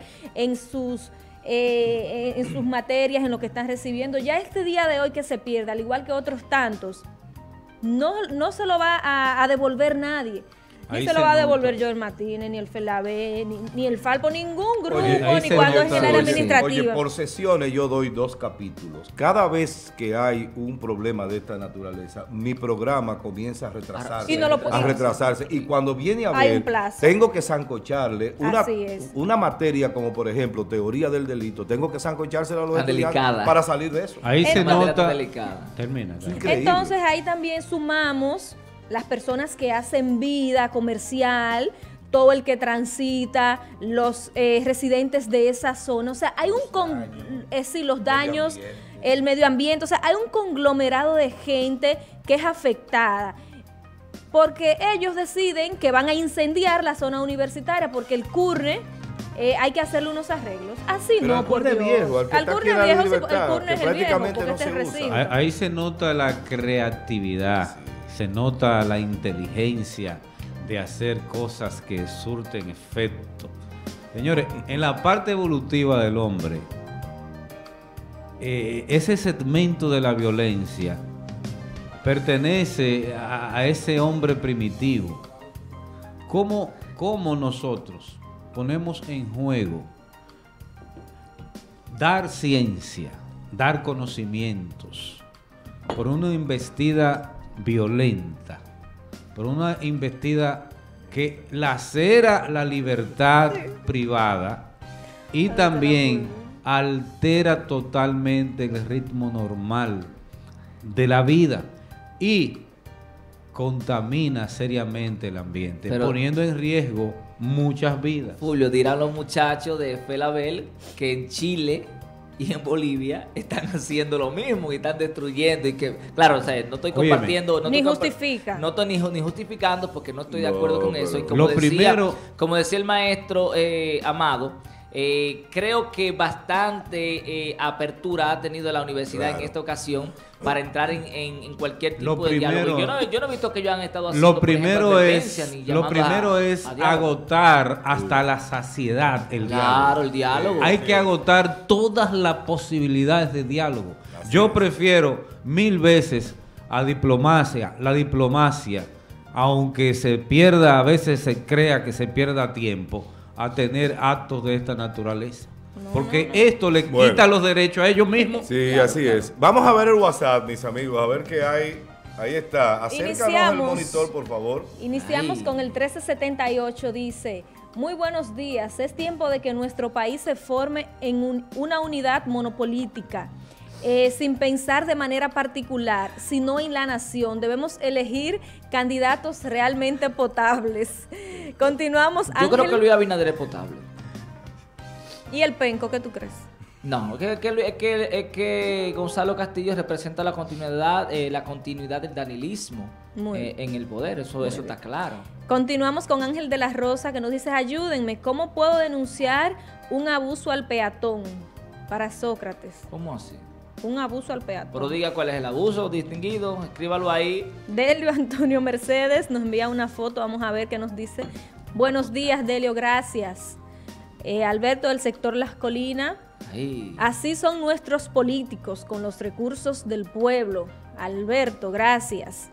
Inés Antigua, Agustina nos dice, Buenos días, bendiciones. Gracias, Inés. 1357 dice buenos días.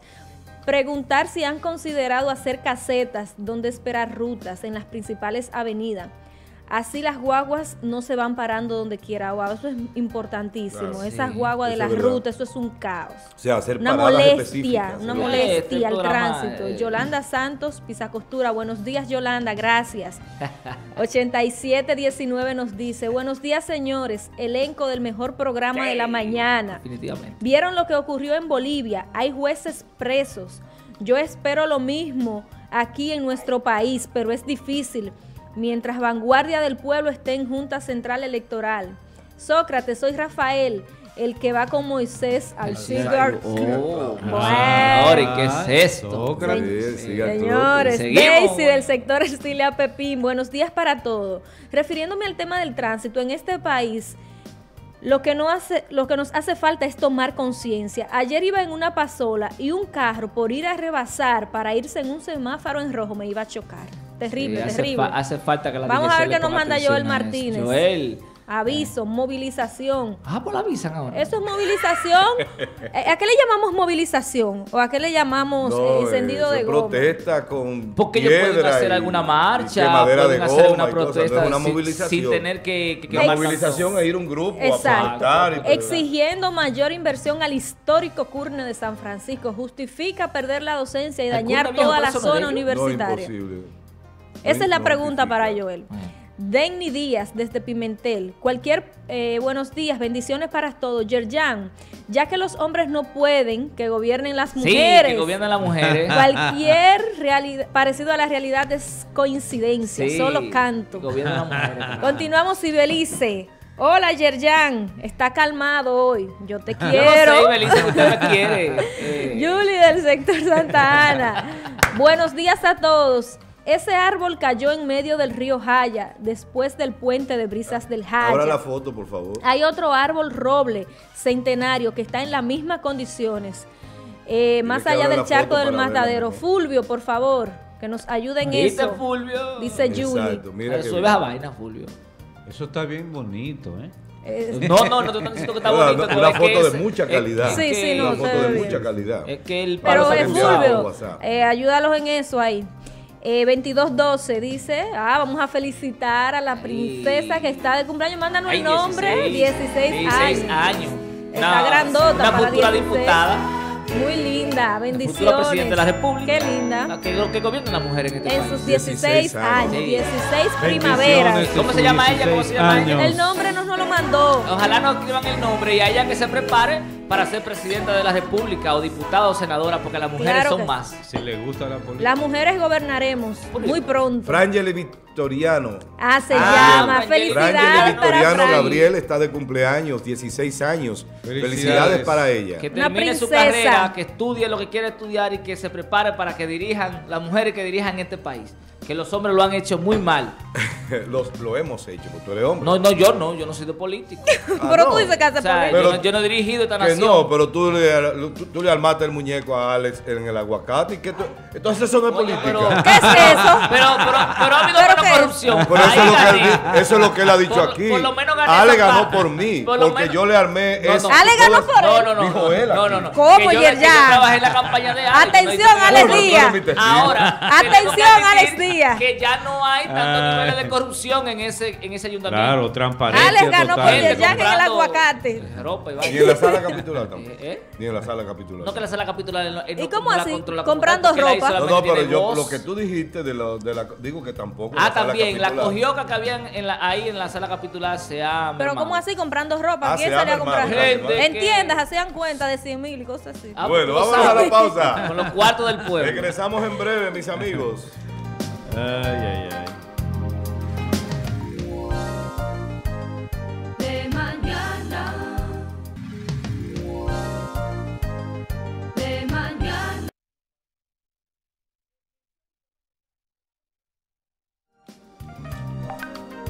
Estamos de vuelta, mis amigos. Este es de mañana, desde las 7 hasta las 10 de la mañana, llevándole Ay. noticias, análisis, informaciones, comentarios, para que usted comience el día bien informado y aprenda a leer entre líneas las noticias. Bueno, y quiero recordarle que en LIR Comercial, la tienda del hogar donde usted podrá encontrar toda la variedad de juegos de habitación tradicionales, modernos locales e importados, hermosos accesorios y muebles para adornar su sala, así como también comedores tapizados, tope de cristal y metal donde toda su familia podrá disfrutar y compartir. Visita LIR Comercial en cualquiera de sus 34 tiendas a nivel nacional. Y recuerde el especial 14.295 pesos por un televisor 32 pulgadas Smart TV y recibe uno gratis de 19 pulgadas, así como la base para el televisor. Así que esto solo puede hacerlo LIR Comercial, donde todos califican. Están obligados, obligando a uno a ir a LIR Comercial. y si usted quiere tener una salud bucal en buenas condiciones, póngase en las manos expertas del doctor Vargas, en la clínica dental doctor Vargas, en prevención y rehabilitación bucal. También con los servicios de la doctora Diana Vargas Castro, cirujana bucomaxilofacial, las manos de seda, con servicio en el materno y también en Salcedo. Clínica Dental Doctor Vargas, calle 27 de febrero, número 62, en el 809-290-7383, 829-766-1666. Especiales, todo este mes de noviembre. Ay, Dios mío.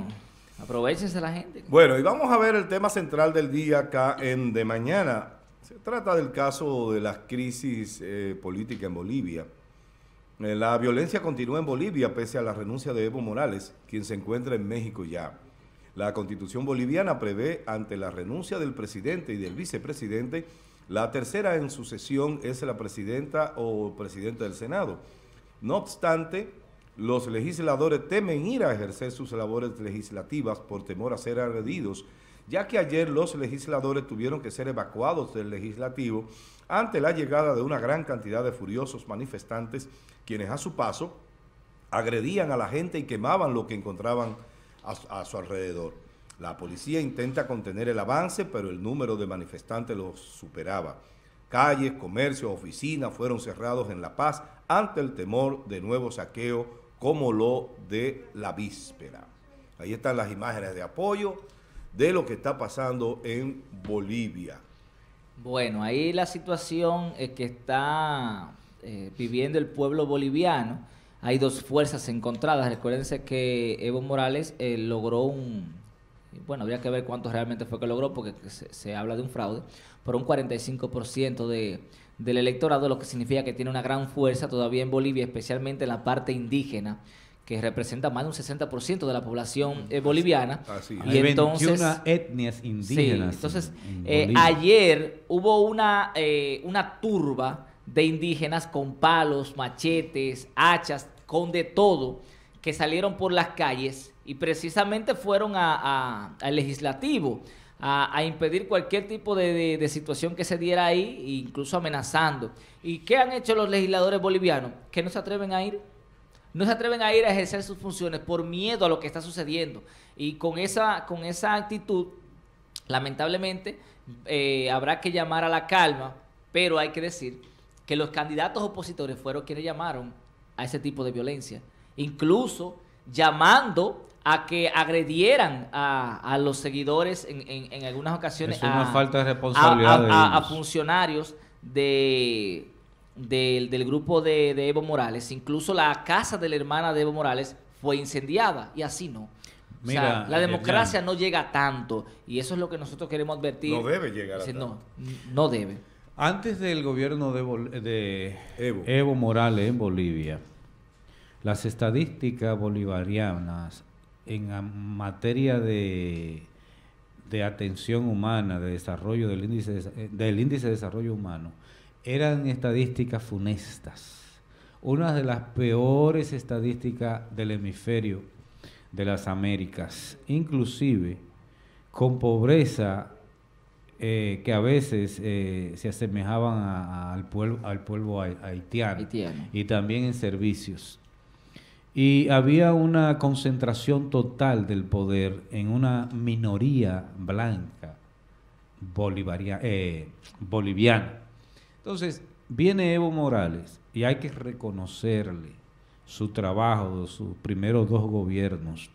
Fueron, fue una inclusión, fue eh, un rescate de los recursos de Bolivia y fue eh, como una oportunidad para darle a esas eh, clases sociales que nunca habían tenido oportunidad de insertarse también en la producción, en el quehacer diario. Y tiene su fuerza. El hecho de que todo político se va desgastando, y Evo Morales también, y el hecho de forzar continuamente una reelección, trae como consecuencia un repudio. Porque en democracias se necesita que se viva y se haga la que sea alterno, que los gobiernos se alternen, que haya cambio. Eso, eso motiva mucho a la gente y a la misma democracia la fortalece. Por eso tú tienes los países más desarrollados del mundo que no ponen en juego esto. Por ejemplo, Estados Unidos, dos periodos y nunca más. Eso es lo que permiten. Y así sucesivamente otros países en una Ocasión, en una ocasión, cuando se le planteó al presidente Leonel Fernández la posibilidad de mantenerse en el poder, eso fue para el 12. Hubo gente que le planteó lo mismo, lo hicieron en el 90 y, en el 2000 o antes del 2000 cuando se produjeron las elecciones que ganó Hipólito que Amable Aristi lo hizo públicamente y le dijo incluso, de hecho fue un insulto al presidente, póngase los pantalones, cambie la constitución para que usted pueda reelegirse, que en ese momento no se podía. Pero en la, en la ocasión del 2012, Leonel planteó que regularmente cuando hay tres periodos consecutivos de un gobierno, se, probó, se produce un desgaste natural y normal de las ejecutorias gubernamentales y del liderazgo del candidato o del presidente. ¿Qué tienen estos grandes líderes? Eh, eh, Evo Morales que vino del sindicalismo y se basó toda su campaña en el sindicalismo, en la parte de las etnias indígenas que se sentían representados por él que no hacen otros líderes. Se acaudillan. Y tuvo eh, el, error de no construir nuevo liderazgo. Y hoy, con la salida de Evo Morales, Bolivia tiene un vacío de líderes. No hay un líder que pueda llamar en Bolivia a detener esa población. Ese es el peligro cuando se forman estos descontroles. Y eso, eso, eso pasa en este país. Hace, un, Antes tú tenías a un Balaguer, a un Bosa, a un Peña Gómez que llamaban y tranquilizaban. Pero ahora no. Exacto. Entonces, no se puede eh, presionar tanto al pueblo y cometer estos errores de no construir nuevo liderazgo, porque la democracia para ser dinámica necesita eso. Mira lo que está pasando en Venezuela. Eso va a acabar también con algo semejante. Claro que sí, eso no y ojalá y no haya muchas víctimas. Así es. Y hoy... Lo, mira lo que dice el director de Flatso con relación al resentimiento social. Dice el que se manifiesta en las personas cuando asumen una actitud de frustración, odio, impotencia, rencor y rechazo hacia lo que provoca una situación dada. Puede ser en la mayoría de los casos por poderes establecidos públicos, sociales y familiares.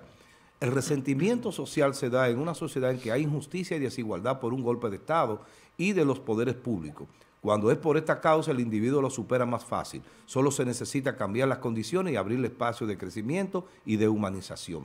Eso dice César, se llama César Cuello Nieto, director de Flaxo. Sí, y hoy es el peligro fuerte que corre Bolivia, porque sus legisladores no se atreven, como decía ayer ya, Pero ni mira, siquiera ir a la casa Acaba de, acaba de renunciar en estos momentos allá en Bolivia el ministro de Defensa, sí, sí. Eh, Javier Eduardo Zabaleta, ya, renunció a... Han renunciado eh, casi todos. 13, 13 eh, ministros ya han, ya han renunciado. Y lo peor de todo es, señores, que míralo ahí, ese Zabaleta que acaba de renunciar como, como ministro de Defensa, entonces aquel país se está quedando, o sea, todos los funcionarios... No, acéfalo totalmente. se está quedando acéfalo, sin cabeza, y entonces, ¿qué va a pasar ahora en Bolivia cuando los propios legisladores no se atreven a ir a, legislar eh, y hay que, y hay que ocupar esos, cargos. La policía eh, de control civil tuvo que pedir ayuda. No pueden. Al ejército de Bolivia para poder tratar de frenar esas hordas violentas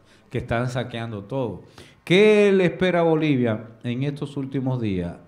Eh, el desafío más grande de poder eh, controlar, esa- controlar Sí, eso controlar. y aferrarse a la constitución y poner Hay una eh, llamada. en mando el que tiene que ir. Claro. Hay una llamada. Claro. eh, la presidenta del Senado, el presidente o, la- o- o el vice o, el- o la vice. Adelante, buenos días. Bueno, buenos días. Sí, buenos días. Díganos. Julio, Sí.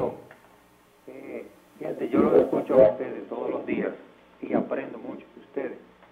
No soy, soy un neófito, no sé nada de lo que le voy a decir prácticamente. Lo que estoy viendo con esa situación es que a, Evo le pasó una situación y fue que no supo congeniar o formar una fuerza armada que lo que lo que lo representara, que lo, Que lo apoyara.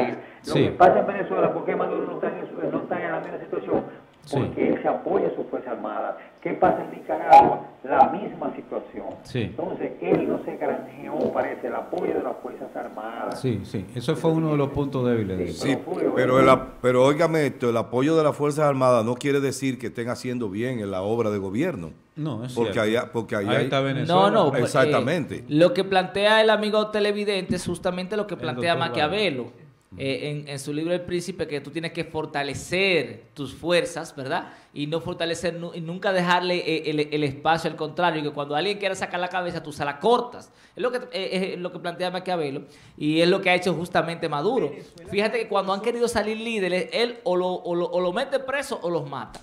Y eso es lo que a él le ha funcionado y su dictadura hasta ahora se ha mantenido, porque él tiene la fuerza eh, armada En, en de su Nicaragua lado. también con Daniel Ortega. Sí, en Nicaragua también. Las Fuerzas Armadas eh, son obedientes a- al jefe. Sí. Pero lo que preocupa de todo eso es que tú dices, bueno, pero la obra de gobierno, el tema es, la, o- la- las Fuerzas Armadas te mantienen en el poder, pero ¿a qué precio? Sí. Eh, ¿A qué precio de la libertad? ¿A qué precio Totalmente de coartando la libertad. Exactamente. Entonces, eh, yo, no, yo no entiendo cómo nos hemos pasado la vida entera aspirando a gobiernos más liberales, más democráticos, más abiertos, y llega un momento en que esos gobiernos se convierten en lo que, en lo que criticaron, en lo que Así- así enfrentaron. mismo, así mismo. O sea, ha hecho una transmutación, han hecho una, una inversión de Entonces, los valores por lo que, que llegaron ahí, ¿no? El tránsito que tiene que vivir ahora Bolivia es un desafío grande hacia la democracia o hacia una dictadura militar. Para exacto, para evitar que el ejército, para controlar lo que está pasando, Exacto. comience a violar los derechos Sí. humanos Sí. y a golpear, matar y hacer desaparecer Entonces, gente. Eso, eh, eso es, es difícil. Con la renuncia de Evo y la persecución que se ha hecho de los funcionarios pertenecientes a su gobierno, eso simplemente es una debilidad de la misma democracia de Bolivia. ¿Por qué? Ok, hubo error, eh, eh, se cometió fraude, hubo esto, aquello, ya el presidente renuncia, pero los estamentos democráticos llaman a que sea sustituido por el, eh, de acuerdo a la constitución, por el presidente de- Del del, Senado. del Senado. Sí. Y eso debe de continuar. Ahora, eso son en democracia ya más fuertes. Sí, claro. Entonces, ahora mismo, el peligro de Bolivia es el irrespeto a la misma democracia que dice estar defendiendo. Exactamente. Exacto, eso porque ellos, por ejemplo, fíjate cómo ellos en, en- en- en grupos, eh, en turba, eh, se han unido y van destruyendo el propio país y van incluso violentando los derechos fundamentales que tienen, por ejemplo, lo- los demás ciudadanos, incluyendo los del sector de Evo Morales. Y, y- y eso deja como conclusión, y ya la gente lo puede ver, que aparentemente esta semana será de, de- de- de alta crisis en ese país, pues cuando ni siquiera los legisladores tienen la seguridad de poder ir a legislar para colocar en sus puestos a los que se fueron, estamos hablando de un país sin desorden. Mira, hay un elemento, hay un elemento Tenemos que importante. mirarnos en ese espejo de Bolivia. Hay un elemento importante en el tema de Bolivia. Tengo un hermano en Bolivia, un amigo, de esos amigos, de esos hermanos que la vida te permite elegirlo. El, el, licenciado Iván Montellano Roldán es mi hermano. Y con él he estado conversando desde anoche eh, con relación al tema de Bolivia y él me dice, él vive en Sucre. Sucre es como la parte, eh, digamos, la parte más importante, pero eh, menos que la capital. Es como el Santiago, ¿verdad? Santo Domingo y Santiago. Él vive como en Santiago. Entonces, él me dice que por ahí, por Sucre, el, estado, el, el departamento de Sucre, las cosas están tranquilas, que la vida sigue normal. Lo que está pasando, está pasando en La Paz. no, no ha alcanzado, lo que quiere decir que si no ha alcanzado el resto de, las, de, la, de la población de todo el país, eso podría ser un aliciente para lograr que las cosas se calmen porque tienen que hacer, tienen que calmar menos espacio, menos personas. Si fuera todo, si eso se, si, si prende en otras localidades, pudiera así complicarse mucho más la situación de Bolivia. Ojalá y pase así como me cuenta eh, Iván, Iván Montellano. Iván era, fue, eh, eh, ¿cómo, se, ¿cómo se llama? Bueno, viceprocurador general de la República en Bolivia, en la ocasión en que nos conocimos, hace 10, 12 años que tenemos de amistad. Entonces, pienso que, que, eso puede ser un aliciente bastante interesante, el hecho de que no es en todo el país que ha aprendido este, este asunto, sino solo en la capital. Mire, con relación al resultado, ya en materia política de, todo esto que está sucediendo en Bolivia, no solamente en Bolivia, sino en América Latina, tenemos que vernos en ese espejo. Y es muy importante eh, a, la gente, por ejemplo, en, este, en esta ocasión del PRM, que es en el caso hipotético de que el, el electorado en el año 2020 le permita subir al gobierno dirigir el país de la manera correcta. ¿Por qué? Porque mira lo que ha pasado en esos países precisamente. Argentina... ¿Tú crees que la turba de este país va a atentar contra un colmadón? No, no, no. a lo que, a lo, que, yo, a lo que yo, me refiero es a que cuando la gente busca un cambio... Tú nada más tienes que ponerle una bachata. oye esto... Y una muchachona ligera de ropa y el asunto se termina ahí. Ahí mismo termina el pleito. A lo que yo me refiero es a que cuando, por ejemplo, los países buscan un cambio y entonces ese cambio representa algo peor que lo que ellos esperaban o, que, o algo peor que lo que tenían, entonces la gente vuelve a lo que tenía antes y le da más tiempo. Pasó con el PLD. Pasó con el PLD aquí que las veces, por ejemplo, que el, que el, que el pueblo le dio la oportunidad al PRD de que fuera gobierno, la vaina terminaba mal. Y entonces, ¿qué hicieron? Dejaron al PLD ahí prácticamente 20 años. Eh, eh, una vaina exagerada. Entonces, ¿qué pasa? Eh, creo que en esta ocasión eh, en el caso hipotético de que Luis Abinader eh, sea presidente de la República eh, y el PRM, tienen un gran compromiso con la nación, porque de lo contrario, creo que pasarán muchos años sin que el PRD, o el PRM más bien, vuelva a ser gobierno.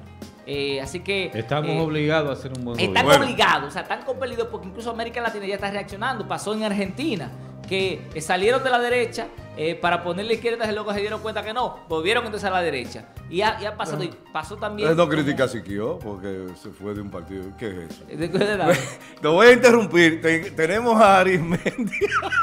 tenemos a Arismendi la antigua en La Peña, ¿verdad? En La Peña. Hay una protesta de la gente de La Peña por el tema de las 24 horas de energía eléctrica. Adelante, Arismendi. Muchísimas gracias. En estos precisos momentos nos encontramos en el Distrito Municipal de La Peña, donde decenas de personas han salido a protestar en el día de hoy en demanda de los constantes apagones. Pero más detalle de la situación, que eh, más detalladamente tenemos acá a José Dolores, quien es vocero de la Junta de Vecinos de, esta de este municipio y nos estará hablando detalladamente de la situación. Sí, bien, buenos días, Arimendi. Eh, nosotros Hace un tiempo venimos luchando porque se nos instale el circuito 24 horas, ya que es una gran necesidad para nuestro distrito, para el desarrollo de nuestro distrito, que tanto lo necesitan. Las escuelas, el liceo, la UNA, no pueden instalar sus equipos. Lamentablemente las neveras, los refrigeradores, no se puede dejar nada congelado porque se nos está dañando. Entonces tenemos alrededor de seis años luchando porque se nos instale el, el circuito 24 horas, la cual las autoridades se han hecho ciegas y sordas y no escuchan, nuestro llamado. Hace alrededor de 15 días nosotros tuvimos una mechonada donde enviamos un documento a las autoridades de, Norte exigiendo lo que se nos dé una respuesta, el por qué después de ellos haber comprometido sus palabras, nos han quedado mal y no nos han dado una respuesta concreta sobre lo que es el circuito 24 horas. Por eso tenemos toda una comunidad en la calle y seguiremos de pies hasta que las autoridades del norte no se comprometan a instalar en el circuito 24 horas.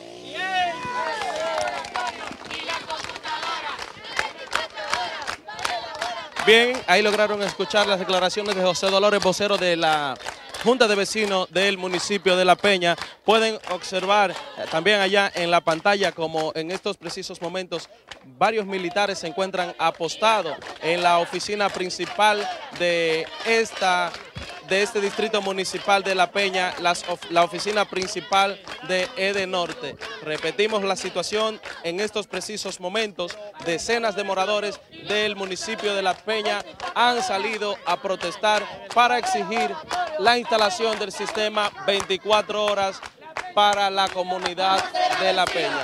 De mi parte, es todo lo que tengo por el momento. Retorno con ustedes a los estudios.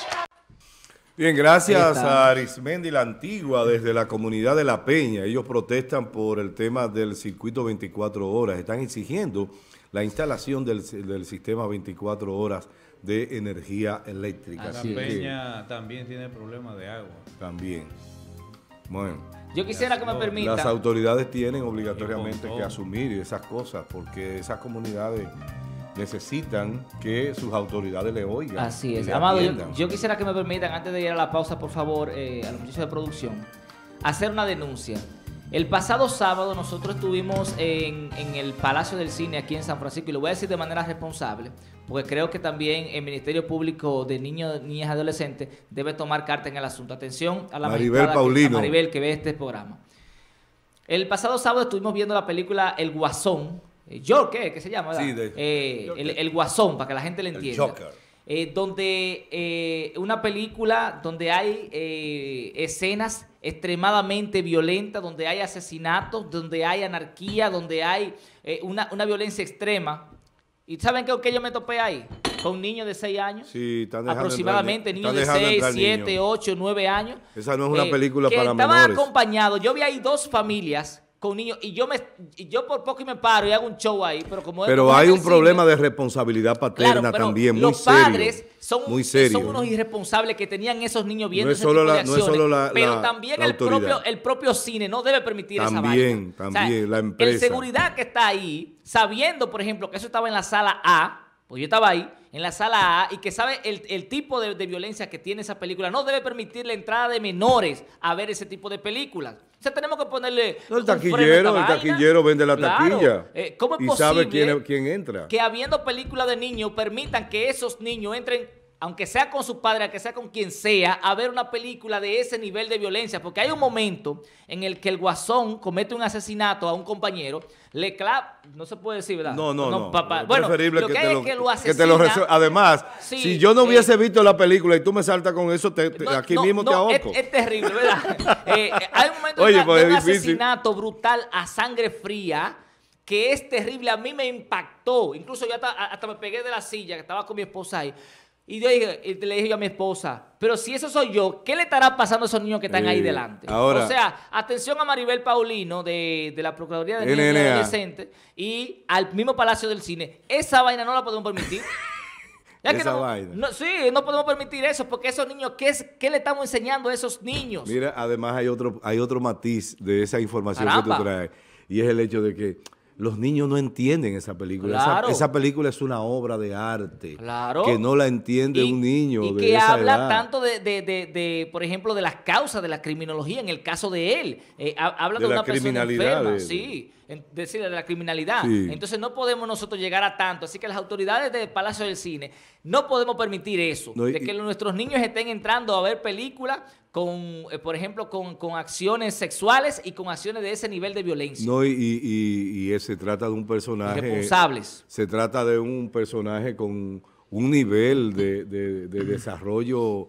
Eh, eh, o sea, el tipo es un psicópata. Y, escena, un nivel de desarrollo. escena que le sacan todo el potencial a la violencia. ¿A la? A la violencia. Sí, sí, sí, claro. Hay, hay, momentos de un asesinato ahí terrible. Gente que lo matan a palo y a puñaladas. Así no. Es un psicópata. Y esos niños viendo eso ahí en alta definición. Es un psicópata violento, tú sabes.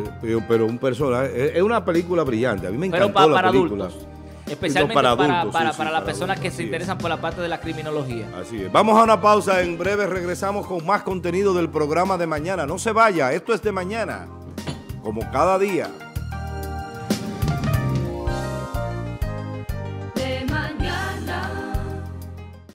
El Ministerio de Industria, Comercio y MIPIMES avanza en la facilitación de negocios dentro del programa República Digital incorporamos 18 nuevos servicios a nuestra ventanilla virtual, elevando a 77 las facilidades colocadas a tan solo un clic desde su casa u oficina, ahorrando tiempo y dinero a nuestros usuarios desde cualquier punto del país. Mi nombre es Víctor Ramón Carrasco y trabajamos en lo que es el almuerzo escolar.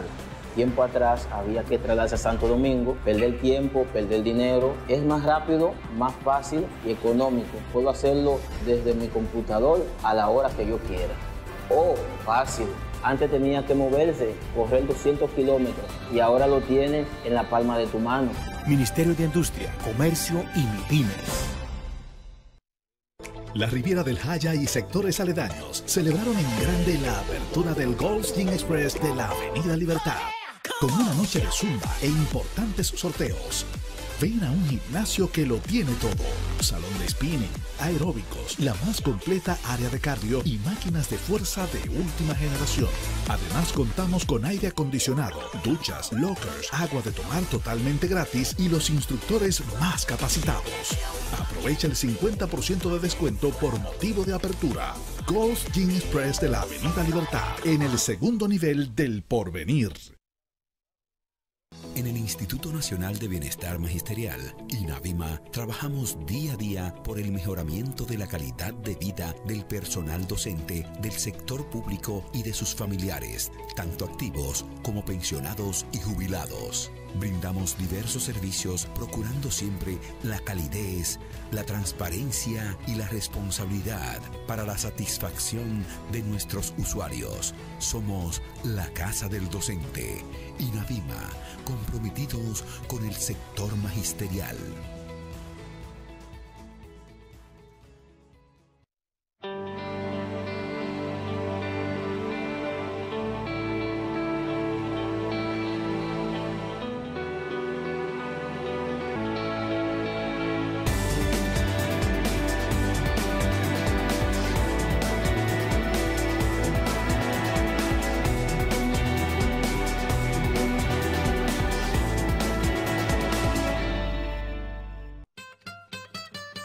Estación de combustible Texaco Cenoví, lavado a presión y engrase, cafetería, cambio de aceite, venta de todo tipo de lubricantes, aditivos y todo lo necesario para el mantenimiento de tu vehículo. Estación de combustible Texaco Cenoví, carretera San Francisco de Macorís con Trovas, kilómetro 12 Cenoví, 809-290-8931, 809-290-8115. Se me ha perdido una muñeca.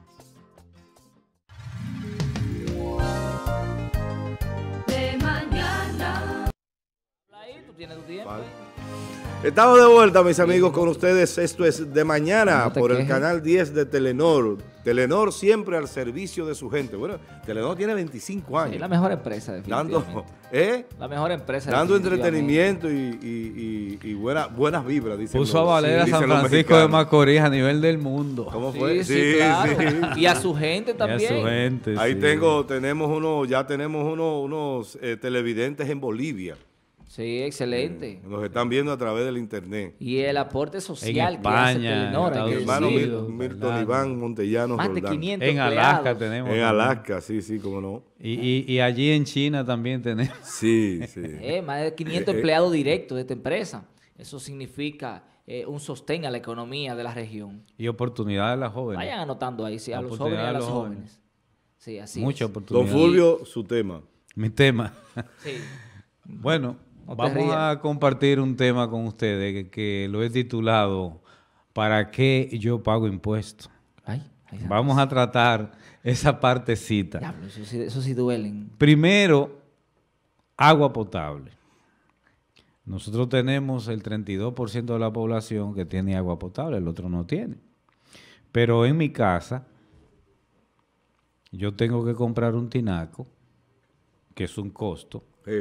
Tengo que comprar una bomba ladrona para... No, no, no comenzaste mal. Primero tiene que hacer la cisterna. Hay que hacer la cisterna. Sí, sí, sí. Eso es lo primero.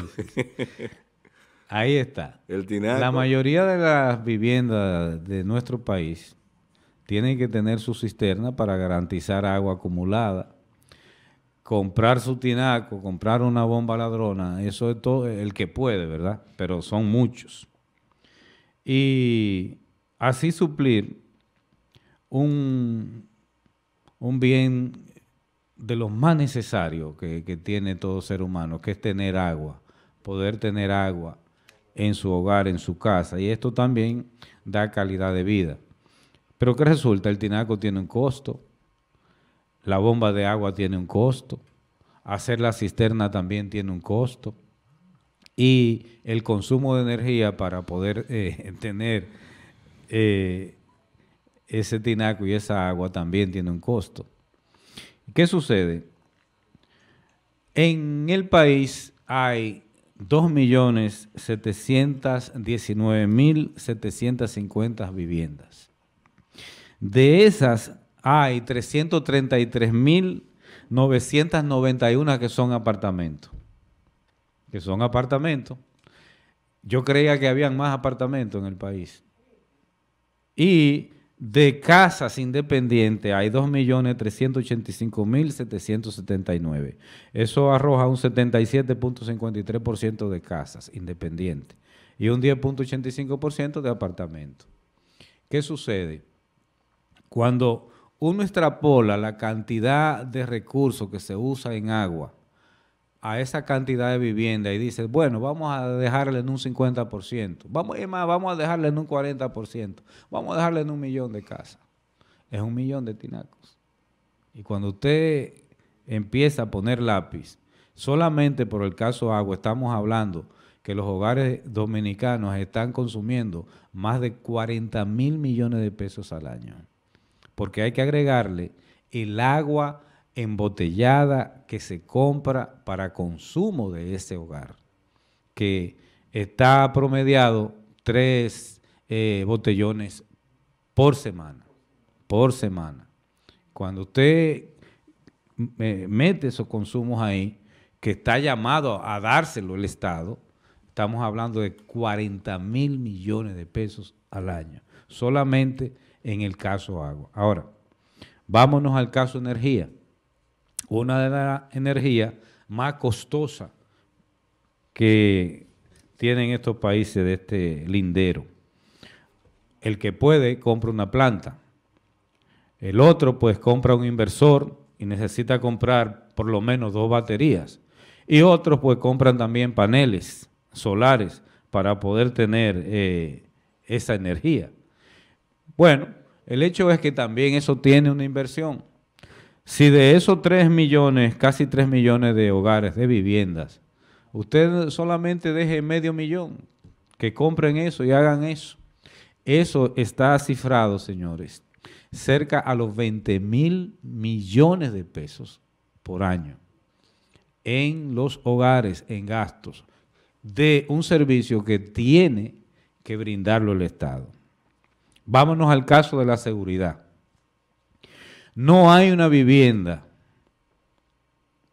per se común que no tenga hierro puesto. Eso sí es verdad. Se necesita hierros en este país para usted sentirse un poquito protegido en sus hogares. Ya hasta los colmados, los, colmados ya tienen una y las compraventas, todo. Las compraventas. Exactamente. Entonces, esos hierros tienen un costo. Hacer esa verja, eso es caro. Sí, muy caro.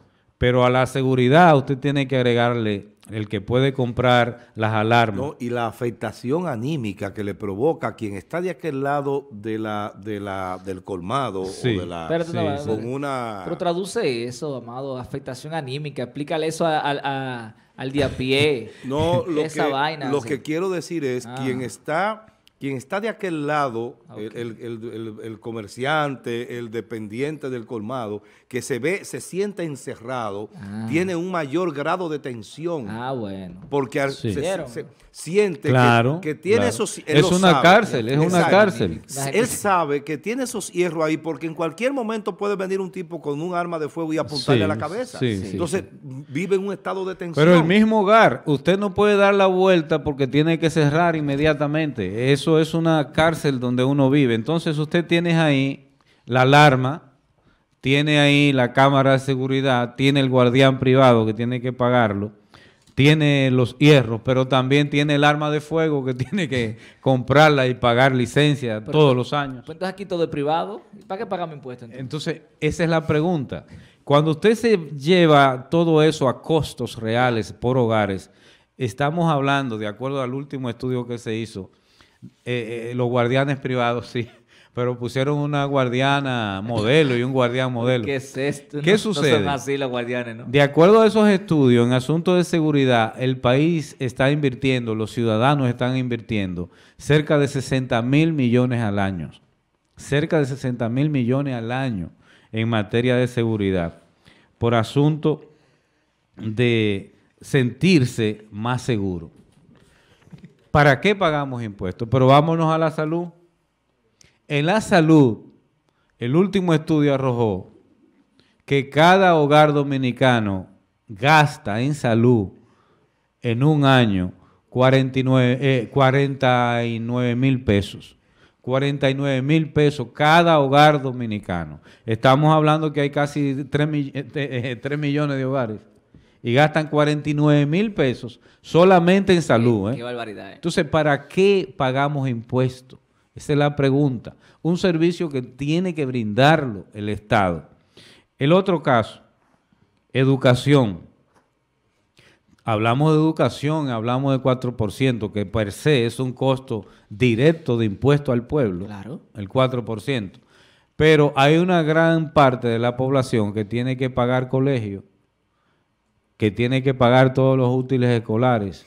Claro.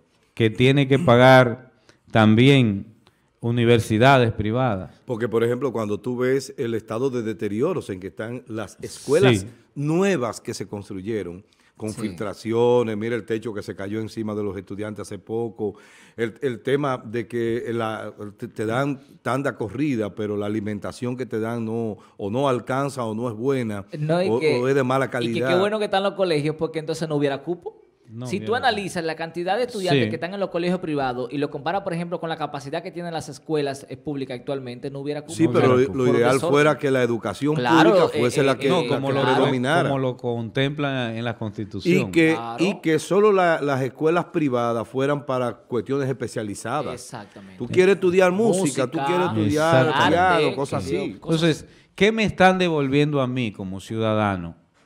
¿Qué me están devolviendo a mí como ciudadano el pagar impuestos? Absolutamente. Entonces, cuando vamos al tema de la seguridad, que hay algo que es que no se puede cuantificar, que es el caso de las muertes. Eso no se puede cuantificar porque una sola muerte vale más que todo. Una sola vida, una sola vida, perdón, una sola vida vale más que todo. Entonces, eso no se puede cuantificar. El, sacrificio que ha tenido que ejercer el pueblo ante la irresponsabilidad de nuestros gobernantes ha sido muy grande.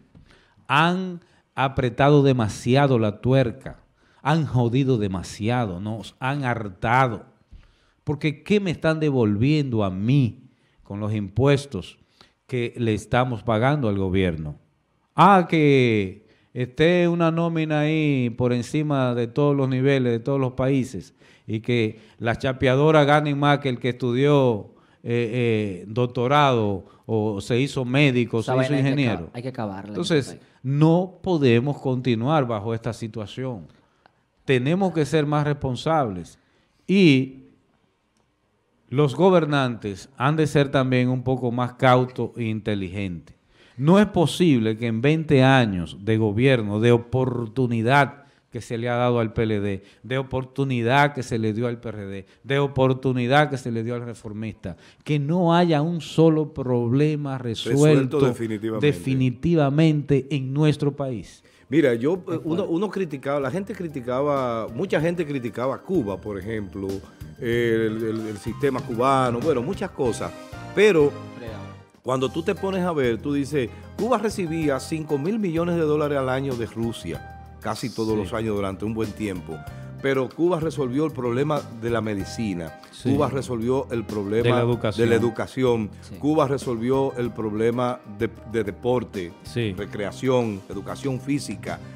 Cuba hoy día tiene un método, un mecanismo de investigación en salud que es muy interesante. Y ha aportado mucho a la ciencia. Ha, ha aportado mucho a la Julio, ciencia me escribe una médica. amiga televidente que dice, ¿dónde que están, eh, dónde que están esos seguridad? Póngame la foto, los seguridad que ustedes pusieron ahorita. Sí, porque hay, La amiga hay- televidente me hay, un, escribe. hay un modelo ahí. Sí, me pregunta No, que dónde pero- que están, para que, quieren contratar a... Primero un la, modelo que la seguridad femenina me está llamando ahora y por eso debo detener el comentario para atenderla. Señores. Está, hay una llamada de ella aquí. No, no, no son así en República Dominicana, no, definitivamente no son así los seguridad. Bueno. Señores, nos vamos ya, ¿verdad? Entonces, No, ¿para espérate, qué? antes de que no ¿Qué vayamos- me está devolviendo Nada. el gobierno de nuestros impuestos? Sí, hay, hay una deuda mu- acumulada muy grande eh, de la República Dominicana con sus ciudadanos. Hay que cambiar. Y eh, hay, que, hay que buscar la forma de que esa deuda se Y pague. una calidad de inversión más eficiente. Bueno, miren, me, me da la información de que en el día de hoy hay una convocatoria para que se reúna la Asamblea Legislativa en Bolivia. Estas informaciones me llegan de mi amigo Iván Montellano Roldán, que es eh, boliviano y que vive en, en- en Bolivia, vive en Sucre, no en la capital, pero eh, es boliviano. Y, hay condiciones para que se reúna hoy. eh, E- Eso puede traer eh, una solución a la representación. Exactamente, él dice, ahí asumirá, conforme lo establece la Constitución, la presidenta del Senado, que sea hoy elegida y que probablemente sea la, se- la se- la- la segunda vicepresidenta porque la primera ha declinado. Sí, declinó. Y entonces solamente se espera que los senadores y diputados del MAS, que es el partido de Evo Morales, eh, participen de la asamblea. Si ellos... Si hay garantía de su Si vida, hay pueden garantía, es probable que ellos participen. Si no, es probable también que el asunto se caiga. Ay, Bueno. mira, nos escribe ahí Guarionex del Del Bronx. Bronx. Dice, no metan la mano en candela por la gestión del ayuntamiento. Yo sé por qué lo digo. Ay. Bueno, pero está ahí dentro de, creo que está en el lugar número 13. eh, Transparencia. en transparencia. eh, No, está más cerca. eh, ha hecho una buena gestión aparentemente. Eh, está del porque 5 a- Yo debo 6 admitir que no hemos hecho una investigación profunda de ahí, pero a- hasta ahora lo que se ve no es una gestión eh, escandalosa. Está Joel Martínez. Eh, bueno, Joel Está eh, informando. eh, manda lo que ya eh, transmitimos hace un rato y vamos con el 2447. Arriba, muchachos. Bueno, ya te ganaste un 100. No, eh, te estás portando bien y tus comentarios son de mayor importancia para San Francisco, dice Peli Rosario. Supongo que es para mí. Eh, sí, lo que pasa es que... Sí, Gracias, sí. Supones bien. Señores. Eh, Supone antes, de, bien. antes de irnos, vamos a dejar bien. esta chinita aquí. Según me informan nuestra fuente, hay un chisme dentro del PRM en San Francisco de Macorís.